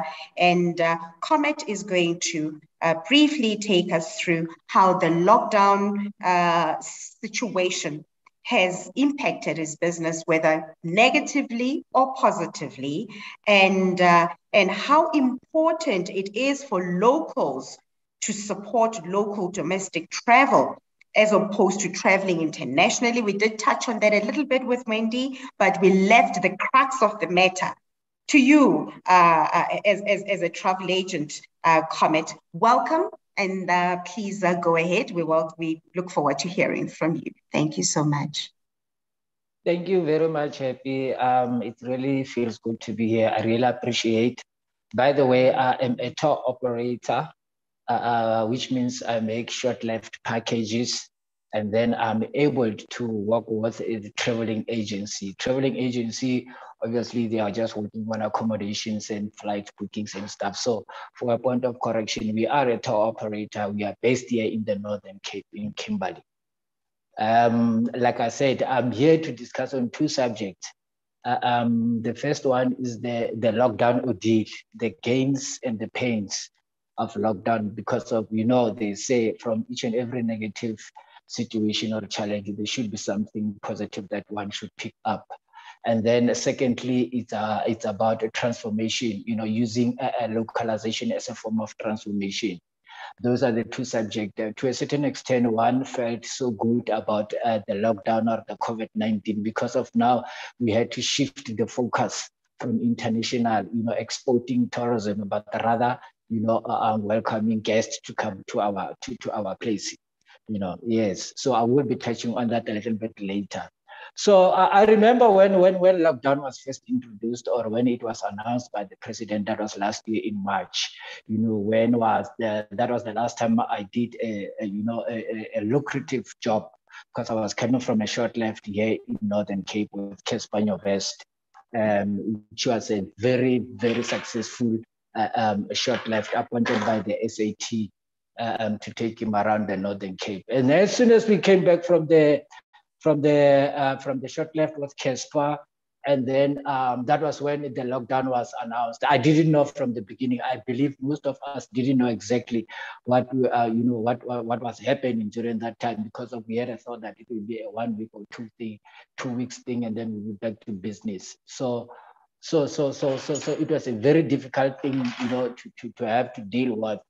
And then, firstly, when that happened, when that happened, uh, uh, we had to deal with a whole lot of things. And then in two weeks' time, that when I realized that no, we are in a deep problem here because of look, we are a tower operator and we work with short left within the well, within, we are a national we are a national tour operator by the way. I heard uh, uh, Mr. Ku Mr. Khumalo there mentioning look a package uh, uh, a package what is this I package uh, KwaZulu Natal most importantly most of my people they like to go into Durban I'm going to Durban so I was we I was hoping that uh, since while I'm sailing Durban I would also get something from that you know those relief funds that we are having there in the office because of oh why not because of I'm part of the people who put you know Durban on the map.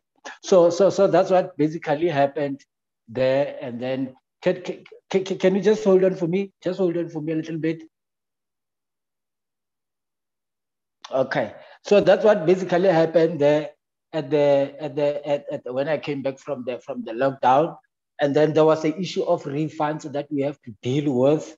We have to. There were issues of cancellation that took place even at some point, some of our uh, uh, our clients, they, they, they we, we got threatened, by the way, because of remember now people have paid, people have done this and that and whatnot, and the trip is not going anymore, and we're not too sure when is it gonna go. That was when that uh, um, introduction, the travel later campaign was, was introduced, don't cancel, rather postpone, and then travel at a later stage. We are trying to convince our people to say, look, because of remember, you buy a package at 4,000 Rand due to the associations that we belong to or a network of, you know, uh, um, operations within the industry. You negotiate client uh, prices on behalf of your clients and all of that and all of that so that you can make a nice package for your clients and then you give it away. Immediately they cancel, everything comes back, all your markups and whatnot. So you understand there's a lot of chaos that is taking place there because of you pay 5,000 Rand, but necessarily the tour obviously is going to be of 4,000 based on the negotiations and whatnot and whatnot.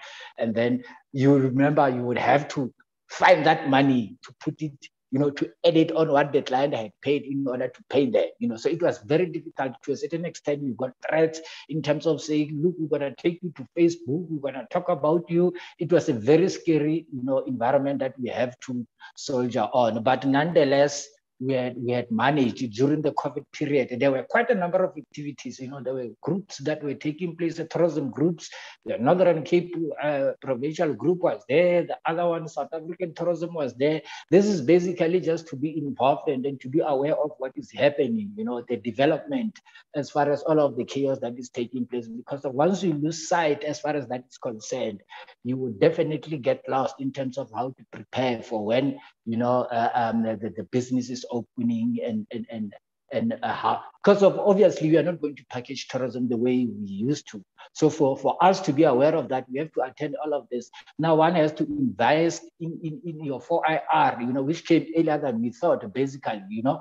So that means everything goes on zoom webinars and whatnot. And if you are not part of that remember it also affects as far as because you must have resources you know that you would have to, to accompany you as far as you are entering that journey of everything goes for IR now. So what are you going to do? So you must data issues, you know, your gadgets that you are using, some of them like this morning, I was struggling and things like that. So information does not reach out to most, you know, from particularly people who are in the villages, you know, people who are in the township. So it was a very difficult situation. We negotiated, you know, as far as uh, refunds are concerned, cancellations, are concerned. And then we worked on postponing some of them, some of them they ridiculous, you know, but we understand we have to contain them. We have to negotiate our way out, you know, as far as that is concerned. So we, through the engagement that took place during that particular period, because of I had to rely on the engagement, you know, your WhatsApp groups as far as tourism is concerned, the support structures, this kind of webinars that were taking place, you know, and there were there were other opportunities that were presented to us in terms of programs. The program that uh, uh, we spoke about earlier on, uh, uh one of the speakers spoke about it earlier on, which of which I'm part of the National Mentorship Program between the TBSA and SAT you know, I'm part of that. I'm, I'm quite happy to be part of that program because of those particular programs. Those are the ones that immediately when you think of giving in and then you think about the support structures, they, you know, they fuel energy within you so that you are able to, you know, to, to, to be creative and then come back into the market. So I got involved in quite a number of uh, uh, programs that were, you know, virtual and then also last week we attended the ATT, which was a very successful program, the African Travel and Tourism Summit that took place in uh, three cities. You know, uh, um, um, in South Africa. So uh, from, from that, you could pick, you know, because of there were sessions, there were breakaway sessions that were taking place in terms of what is to come at a later stage. So one got equipped as far as that is concerned in terms of how now are we going to prepare each other, you know, so that when we come back, you see, as a tour operator, you must understand I rely on products because of I have to rely on Protea Hotel to say, no, we are functioning, you can come I have to rely on uh, uh, Moses Mabhida to say, Moses Mabhida, no, we do the jump, we do the sky car.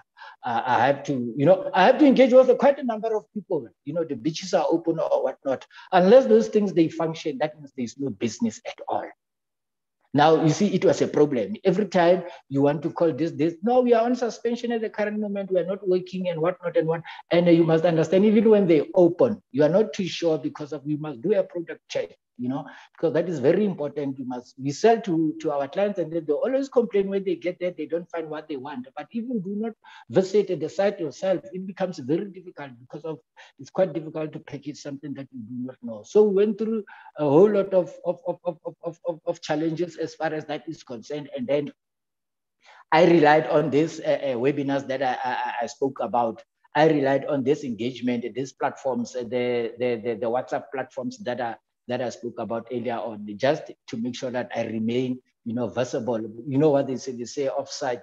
Once you become offside, everybody forgets about you. You know, so out of sight, out of mind. So I had to to engage with other with other uh, uh, colleagues that are working within the tourism industry. So one of the good things, like I said, that I rely on products. One of the good things that came out of that is to say, look, uh, uh you have to go back as far as now the gains of the lockdown, you know, the collaboration element that came out of the pivoting element. Those are the languages that we hit a lot in terms of the webinars, you know, go back and sit down and then look back at what you can do, what you can do. Maybe this is an opportunity for you to introduce something. People were doing, you know, uh, um, they were moving away from tourism and converting their establishment into something else so that they can be a COVID test or whatever that is taking place so that they can accommodate people. You know, as a tour operator, you sit down and then you think about it and then what is it that I can you can, you can come up with. To a certain extent, I'm still engaged with my local because of I'm a tour operator from a rural village.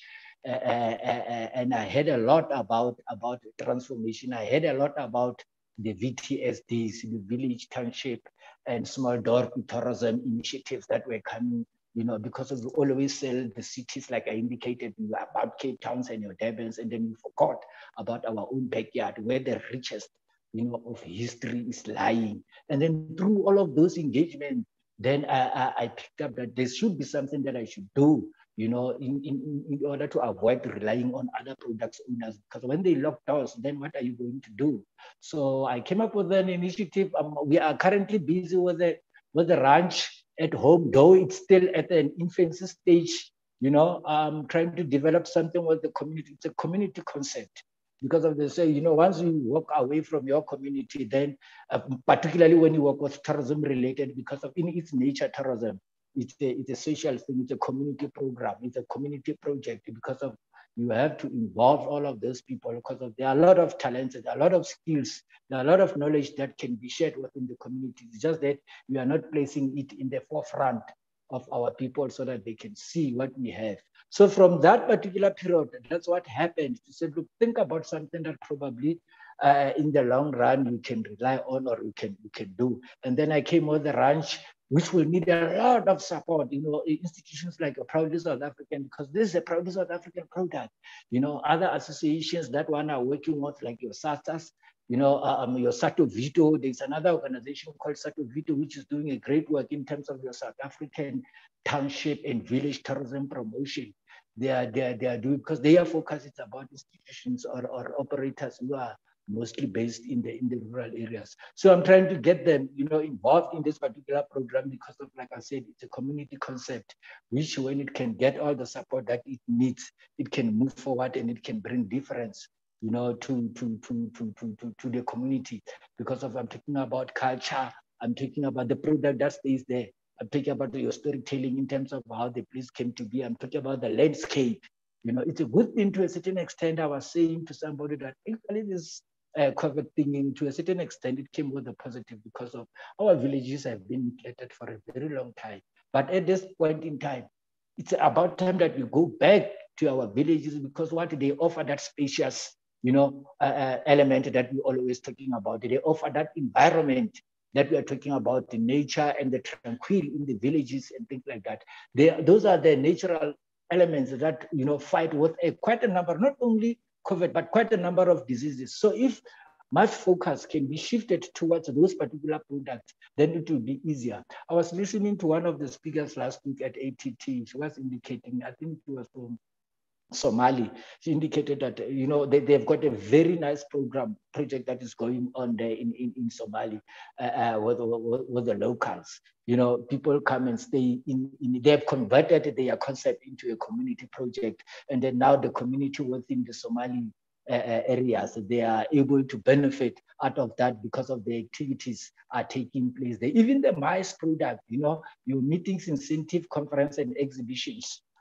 Uh, we were talking with Amanda, who is heading that particular board within SAT, that look, we, we, we must move our MICE product, we must move you know, towards towards your villages. We know we've got the challenges of infrastructure, roads, you know, you're talking about uh, things like the, the gadgets as much as there has been much uh, uh, investment in other areas within our government and all of this can also be shifted from there to those particular areas. Because of now you can imagine if a mice project is taking place in a village or in a township what is going to happen?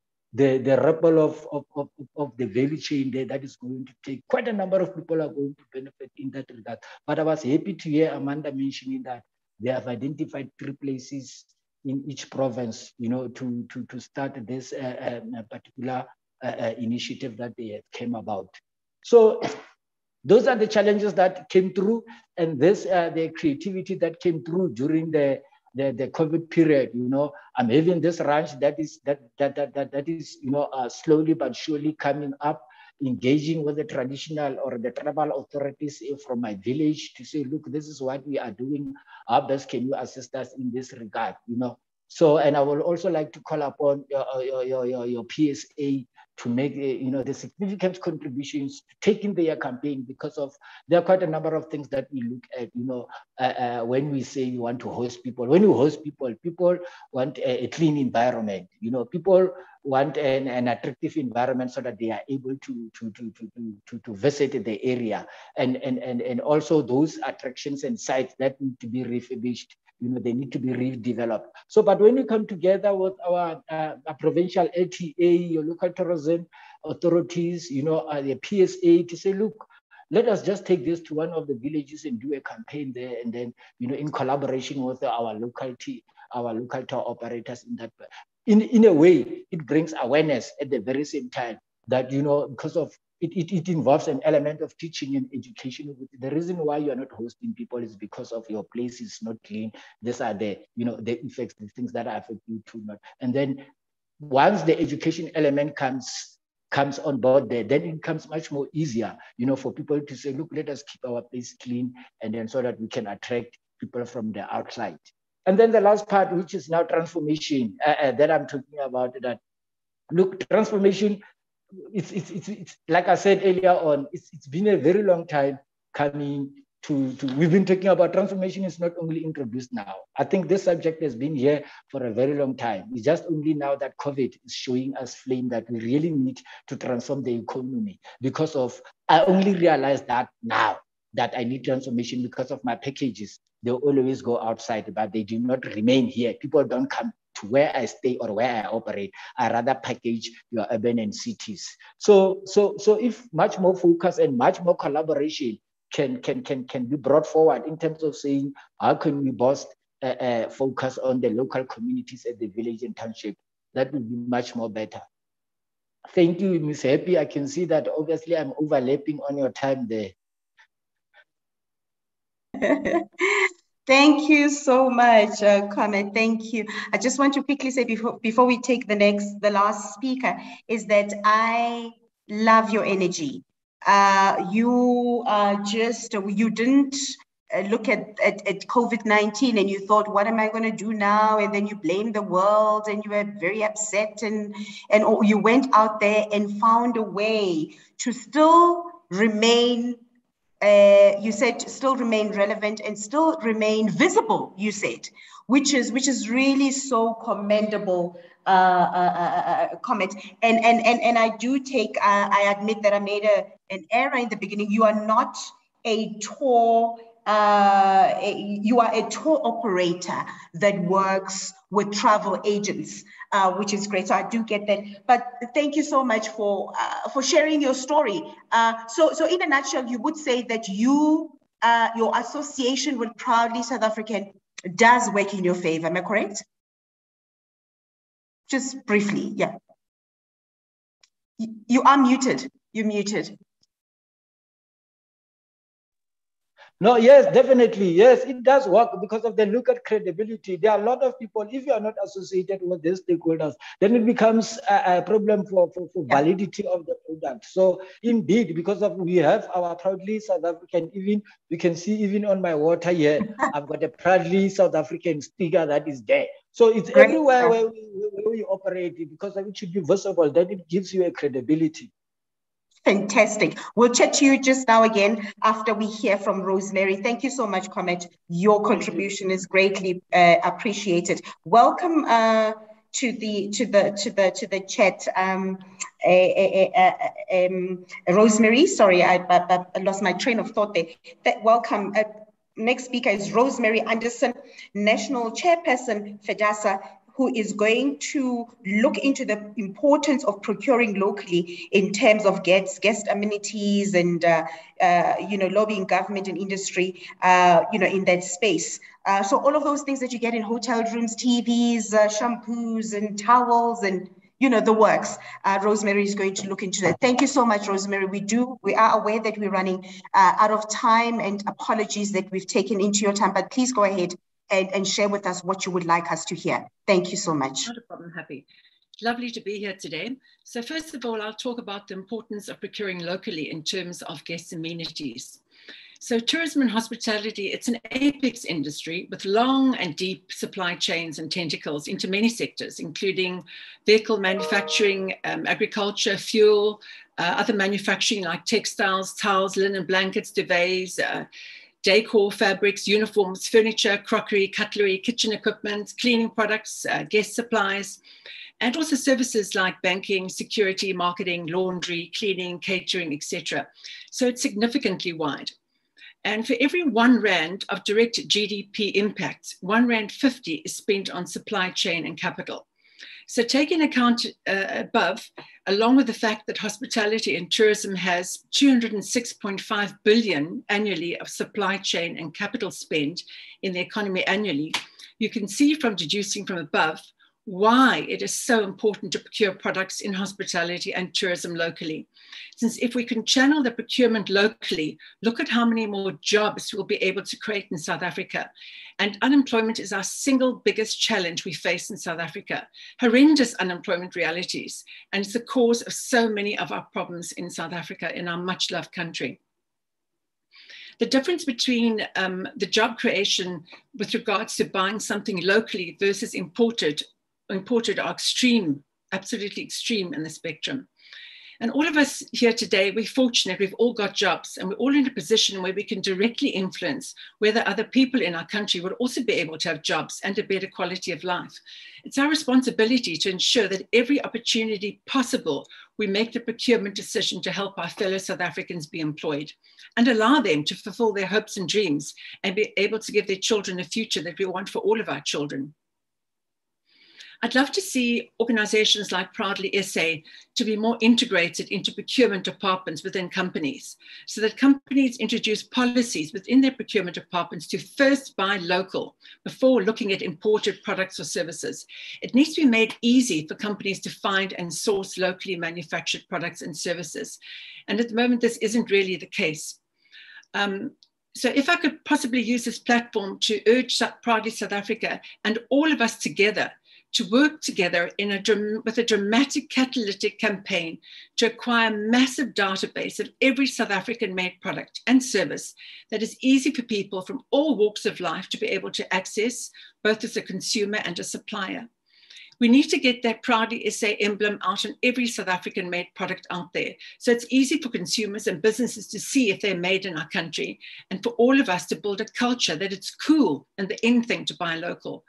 Uh, the old expression, local is lekker, it resonates with everyone and it's happy and light-hearted and fun. We could keep this much loved expression as we go on with all of our words in this regard. It would also be wonderful to see a, a massive short, medium, and long term campaign spearheaded by Proudly South Africa, but with partners from all sectors of business and government, labour, social, and our religious sectors. A campaign that is shared on all platforms of social media as well, well as all mainstream media, literally capitalising every part of communication in our country that is possible and to do it in a fun, humorous way, but at the same time, which educates the public and business on how their decision to buy local will have a direct positive impact on their lives. These benefits we need to identify so that the man in the street actually can actually resonate and really understand that they will have access to more jobs and businesses if we if they buy local. And also from a company point of view too that companies are forced to actually buy local because if they can actually buy local then there will be more jobs out there and there will be more consumer spend to spend on their companies so it would be great if we could make the campaign fun, relatable, down to earth, and upbeat so everyone can directly see how buying local will positively impact on their lives and businesses. Um, in the many spin offs from not only creating jobs, but in all the other many ways of reducing employment, which will improve a vast array of, of negatives in South Africa. It'll help reduce crime. It'll improve our citizens' mental health. Um, it'll help with the um, reducing the abuse of women and children, all the way to improving the balance sheet so that it is more, more money is generated by our government, which in turn can spend money on all our services from healthcare to roads to government infrastructure, such as water and sanitation. We will become a wealthier country which will allow all of us to benefits that wealthier countries are able to enjoy. I would also love Proudly SA to engage with the Department of Trade and Industry, whereby the department could advise on products and services that are currently imported and of high yield, um, positively um, very beneficial products that they could then actually be manufactured in South Africa. We could then have the they could give us they could give us identify the opportunity that we as South Africans could manufacture them. This could also be a major job creator. Um, and on a slightly different note, hospitality and tourism employs about 1.5 million people in South Africa but it's estimated that one in seven South Africans put, puts food on the table, either directly or indirectly through tourism. If we can entice more international tourism to our shores, we could reduce unemployment in our country significantly. I believe that if our tourism department, now led by Minister Sisulu, could embrace and join, join hands with us like never before with our main industry players in tourism and hospitality, together we could harness all of our joint expertise and we could market South Africa like it has never been marketed before and create millions of jobs. I've also been asked to talk to you about lobbying government and industry. Um, what we've had to do as FEDHASA in the past 18 months is quite a significant amount of lobbying. Um, we actually have a very good relationship with government and um, we are able to um, at the same time have a good relationship with with government, but at the same time, if things actually we feel things aren't um, fair or they're damaging to tourism and hospitality, then we do engage with government and we bring this to their attention and have honest conversations in this regard. Um, a good example would be in January this year, the Department of Employment and Labour put out a notice in the Government Gazette that the Bargaining Council would be extended to non parties. What this would mean in reality is that hospitality companies, all of them, excluding accommodation, um, who currently fall under the bargaining council, um, would end up with an immediate um, over 20% cost to company regarding employee costs. Obviously, everyone wants employees to earn more and have better working conditions. However, to induce a plus 20% increase in cost to company of employee costs during a pandemic and a severe recession um, after not being able to trade for over a year just made no financial sense. So we had an honest conversation with the department, but they informed us that since the matter had already been gazetted, we'd have to go to the courts to stop this being enacted. So as per the department's advice, we took out a successful urgent interdict against the department um, FEDHASA took out the, um, the interdict against the Department of Employment and Labour, and that put the matter in abeyance. And currently, the matter is to be heard early next year um, with the department, and um, hopefully, we will be able to have the whole rule set aside because they legally, the department doesn't have the necessary 50% plus one, which they require. So FEDHASA lobbies with government in a positive way, and when need be, then we, we, we take on um, another realm like we were advised to in that case.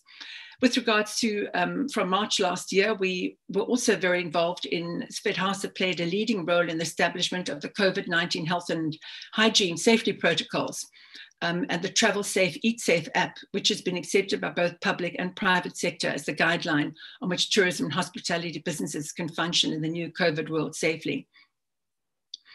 From, you know, also in the past 18 months, what we've also done is we've had to put pressure on government to lift restrictions on our tourism and hospitality businesses and to allow us to trade in a financially viable way so we've done this by using direct lobbying and also data-led uh, media releases such as Stats South Africa figures. We actually bring it to the government's attention as to how negatively our industry has been affected and what we need to do in order to be able to continue training, um, trading uh, financially viably. The other way FEDHASA also um, lobbies government is, for example, uh, we recently appeared on the Parliamentary Portfolio Committee on the matter of government's intention of introducing the National Roads Traffic Amendment Act, which, amongst other things, would prohibit the outright consumption of alcohol by motor vehicle operators on our public roads. Um, this legal limit uh, currently allows our current legal limit allows motorists to have 0.05 grams per 100 mils, but the new bill adopted will have a zero tolerance approach. So um, FEDHASA at this particular engagement um, put pertinent points across that even by using mouthwash, for example, or enjoying a brandy tart and even having a glass of wine the night before might lead to a driver being found um, to be over 0%. And this would put local and international travelers who in, unintentionally broke the law in a vulnerable position. We also further highlighted our concerns that unscrupulous law enforcement officials may capitalize on the situation so it's our belief that the 0% alcohol limit would damage domestic and international tourism and hospitality in South Africa significantly. So we're really lobbying government in that regard. There's also the matter of the employment equity um, new uh, quotas which are coming out. We've worked with Advocate Jan Munich um, on engagements. We've presented to the Department of Employment and Labour. We're actually, at the end of this month, actually putting forward a proposal to the departments where we can actually achieve the same um, results, but in a different way, because currently the way it has been um, the way it's been formatted, it's very difficult for smaller businesses to comply, and in some cases, impossible to meet the criteria. So, and in that case, the, the result would be that businesses would be forced to make alternative arrangements, and the transformation goals outlined in the new legislation would not be achieved. Um, we also um, have helped with regards to um, restaurants who've been unable to help their um, to pay the rentals with their landlords. So we have um, partnered an initiative with business partners and the Sukuma Fund, whereby FEDHASA um, helps independent um, restaurants who meet certain criteria to apply for an interest-free 12-month rental loan um, agreement. So as part of this initiative, landlords also must extend those restaurateurs a 25% discount. So the financial benefit is amplified. And the loan provides support for businesses who need help um, and have got a good chance of making it, but just need this extra little bit of help. So that's also, that's another way that we actually engage as FEDHASA. Um, I'm not quite sure time wise how we are if we're running out there. I can actually mention more things. But for example, um, the other thing which we've also engaged very much so with is with regards to business interruption insurance. It's been a hot potato in our industry the past year. And FEDHASA has added our voice to the media debate, putting pressure on insurers out there who failed the hospitality clients um, by refusing to pay business interruption claims timelessly and in some cases not at all. And while we believe the pressures had some positive results, we feel that the situation was resolved in an entirely unsatisfactory way by the insurers, and that many hospitality businesses could have been saved had insurers treated their uh, clients fairly. So, this is an example of where we also intervene. I would like to make the, exception of OUTsurance who were very good and actually paid uh, their clients actually out straight away with no dragging of heels, unlike the other ones. Um, finally, as FEDHASA, not only do we try to lobby with government, but we also try to help reduce costs for our industry and our members by lobbying government and businesses. And we've partnered with a number of organizations to provide discounts and rebates for our industry. Um, so I hope I've given you, been able to give you a bit of an overview of FEDHASA's lobbying government and industry today. Um, if there are any questions, I'd be happy to answer them. Thanks.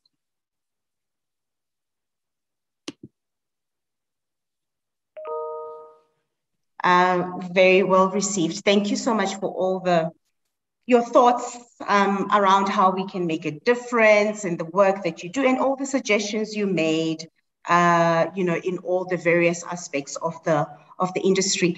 I do see that there's just one comment that I would like my colleague um, uh, Janine to, uh, to, to make regarding our work with the DTIC and how we lobby uh, the DTIC as policymakers and some of the stakeholders in the government uh, space.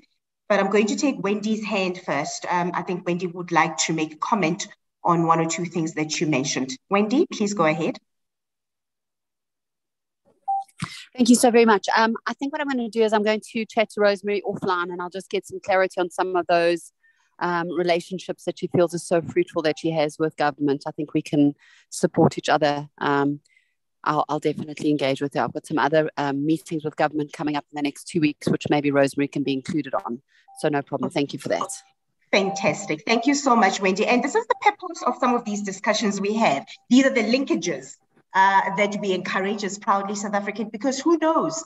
Uh, you know, when you do get together, Wendy and Rosemary, uh, you might just cook up, uh, you know, something that's going to really, really, you know, make a difference uh, in areas that are that are still remaining challenges in the in the industry. Janine, would you like to quickly make a comment about the work that we do uh, with uh, lobbying government and the work that we do uh, in the public and, and private uh, sectors, including the work we do with the DTIC, uh, just briefly. Yes, 100% happy. Great, uh, so thank you. Thank you so much. We do work with a, a number of, um, of, of departments whereby we look at the value chains that they support and uh, we do we do on all fronts request you know whether it be a designated space or not that they do buy local um, I'm actually, apologies, colleagues, I'm switching my video off because I've been notified my internet connection is low. So if that's okay, I'll just just keep that keep that down. We also we're also involved in the master plans um, that uh, that that that looks at policy issues. We're looking at challenges that affect service providers, manufacturers, um, in order to to see what it is that's keeping them from flourishing. But in every instance where we engage with government, we're not only looking at ways to secure offtake agreements, so getting the private sector to, to support their own, but we're also working with uh, the public sector to see where we can designate um, uh, additional services or, man, uh, or, or products, etc., so that um, so that uh, government, when they also buy, I mean, when they fly, do they fly a local airline? You know, that kind of conversation we do have with them. Um, so, so we are working working very closely with them, and then whenever there is a, an opportunity, um, whether it be um, um an initiative that they're hosting in terms of a competition, or if they are, we're working very closely with with various departments, whereby we are working with them to to to also get a unified voice out there. I'm thinking of the Department of Small Business Development, for instance. So, so I think we can strengthen, um, we can still strengthen the relations with with the tourism side of things, um, for sure. But but for us, uh, you know, our interest as Proudly SA is really to lobby for the support of local manufacturers and service providers. We also have to be cognizant that we don't step on the toes of, of our of our sister organization organization SA Tourism, for instance. So we have to be we we we really do um, lobby. We uh, we our, our interest is really in terms of of getting companies to buy from one another, government to buy from from um, um, from uh, from the local service providers and manufacturers, and then also for consumers to support uh, to support local. But um, with, whenever that is involved, that's where that's where we step in. I hope I've answered the the question. And we're working very closely with other, I must say, with other with other unions. Um, I mean, we we are lobbying that uh, they are, you know, uh, uh, we're working with the unions very closely, uh, mostly COSATU affiliated unions, um, to make sure that um, to, to make sure that they lobby, uh, you know, um, lobby for the support of their their own. So so so we're also working closely with them in that regard. So I'll be very happy to to work with you. Thank you so much. Thanks, Happy. Thank you so much, Gillian. And you've just confirmed the fact that as Proudly South African, we need friends everywhere.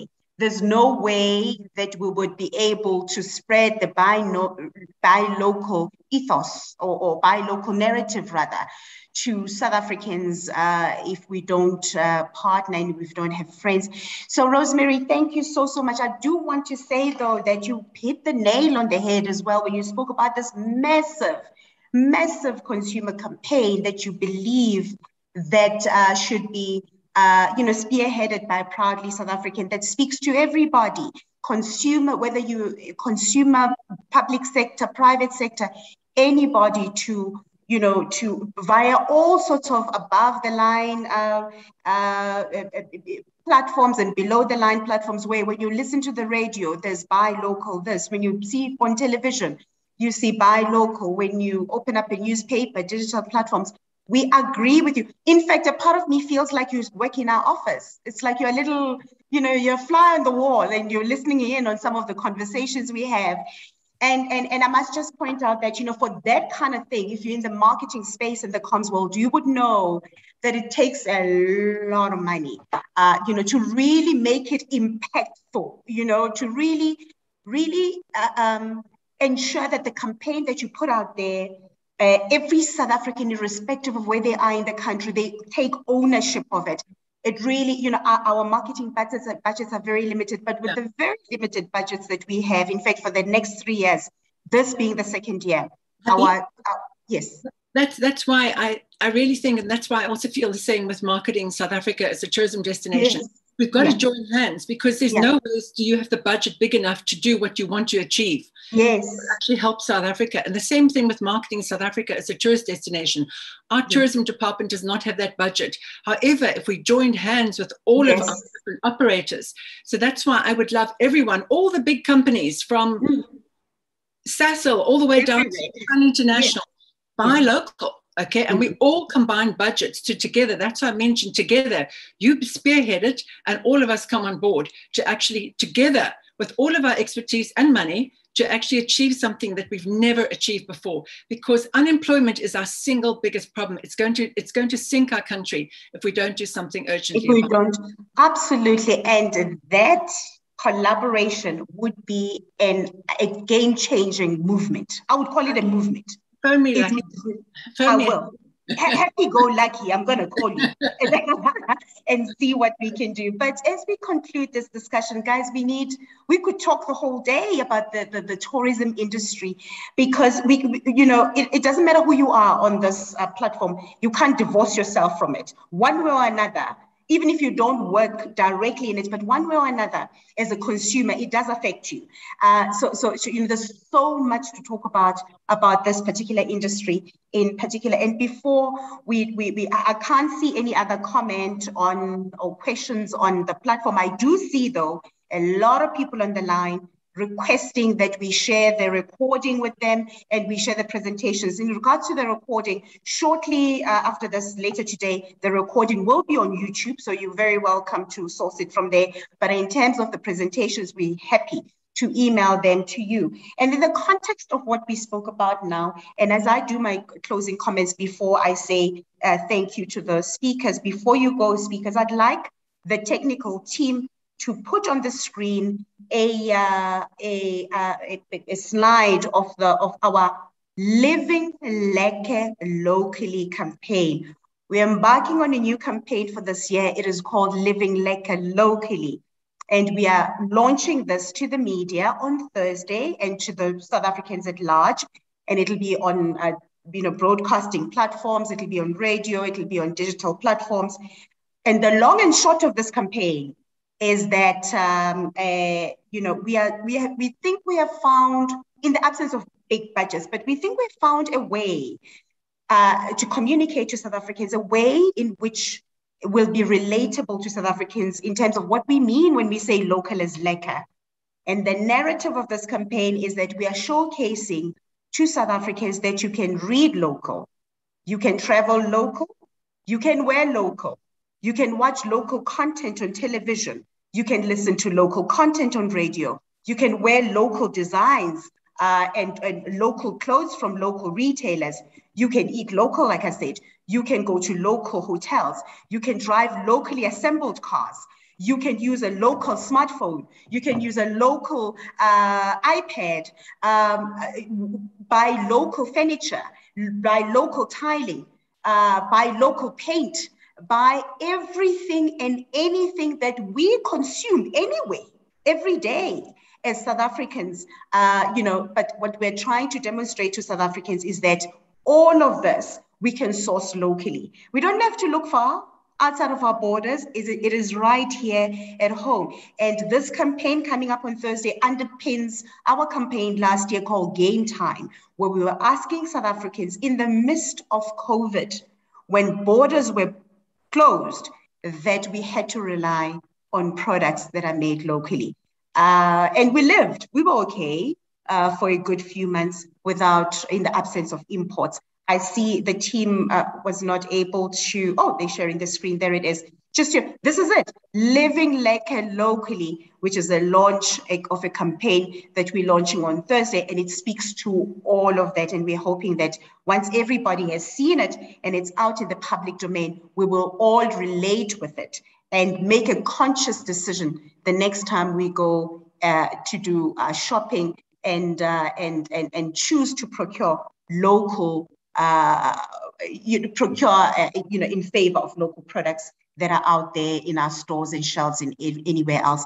Thank you so much. May I please ask all the speakers to have their cameras on as we do our closing remarks and we say goodbye. We thank you for your time. We have run about 15 minutes um, over time. We're most grateful. May I please uh, request that we back online and uh, Rosemary, your 60 second closing remarks, please.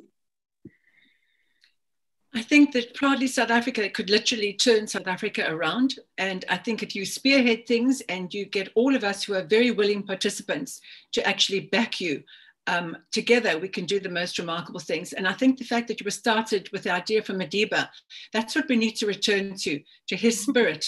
Um, I just think it can't be anything. And I'm very proud to, for FEDHASA to be associated with Proudly South Africa. Thank you. Thank you so much, Rosemary. We appreciate your time. We do not take it for granted. You could have been anywhere today, but you chose to be with us and share uh, your knowledge in the industry with us. We thank you so, so much uh, take care of yourself. Thank you. Uh, Mr. Khumalo, your closing remarks?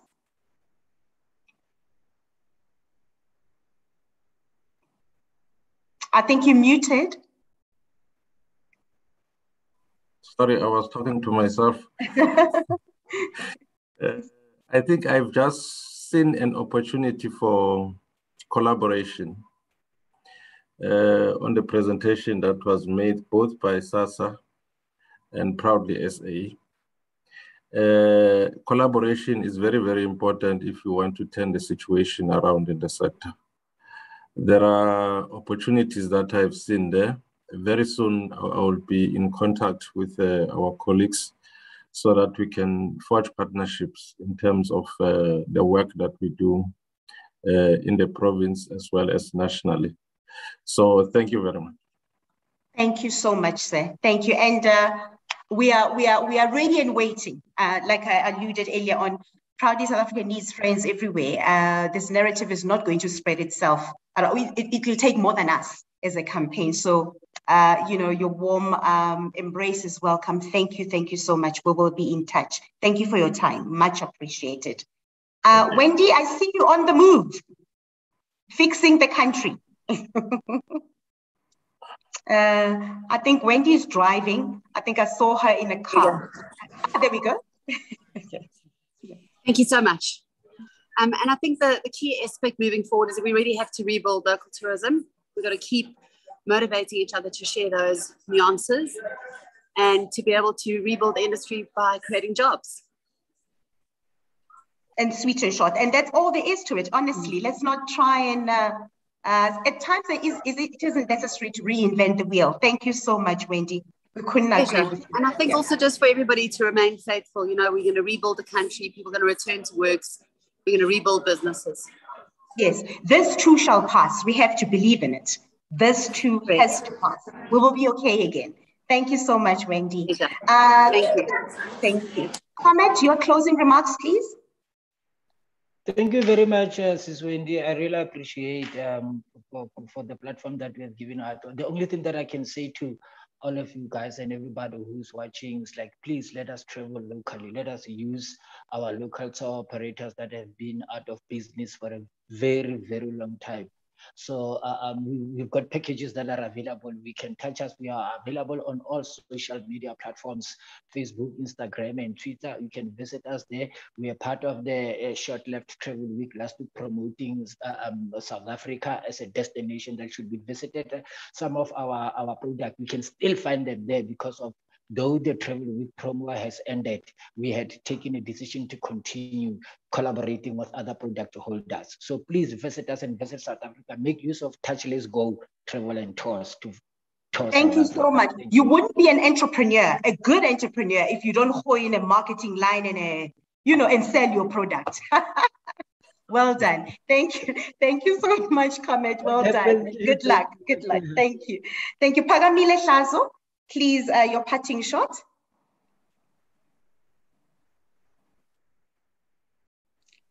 Okay, uh, while Pamela may have stepped off the call, Janine, uh, may, I, may I ask you to give your parting shot? Uh, thank, thank you, you so much. Thank you, Happy, and thank you to all the speakers and, and all the um, all the attendees that joined the call today. And buy local, please, everybody. Thank you. Great job. Thank you so much, Janine. Thank you so much, everybody. Every one of you that connected on the Zoom platform, uh, we're streaming live on Facebook. Thank you. We see you are there.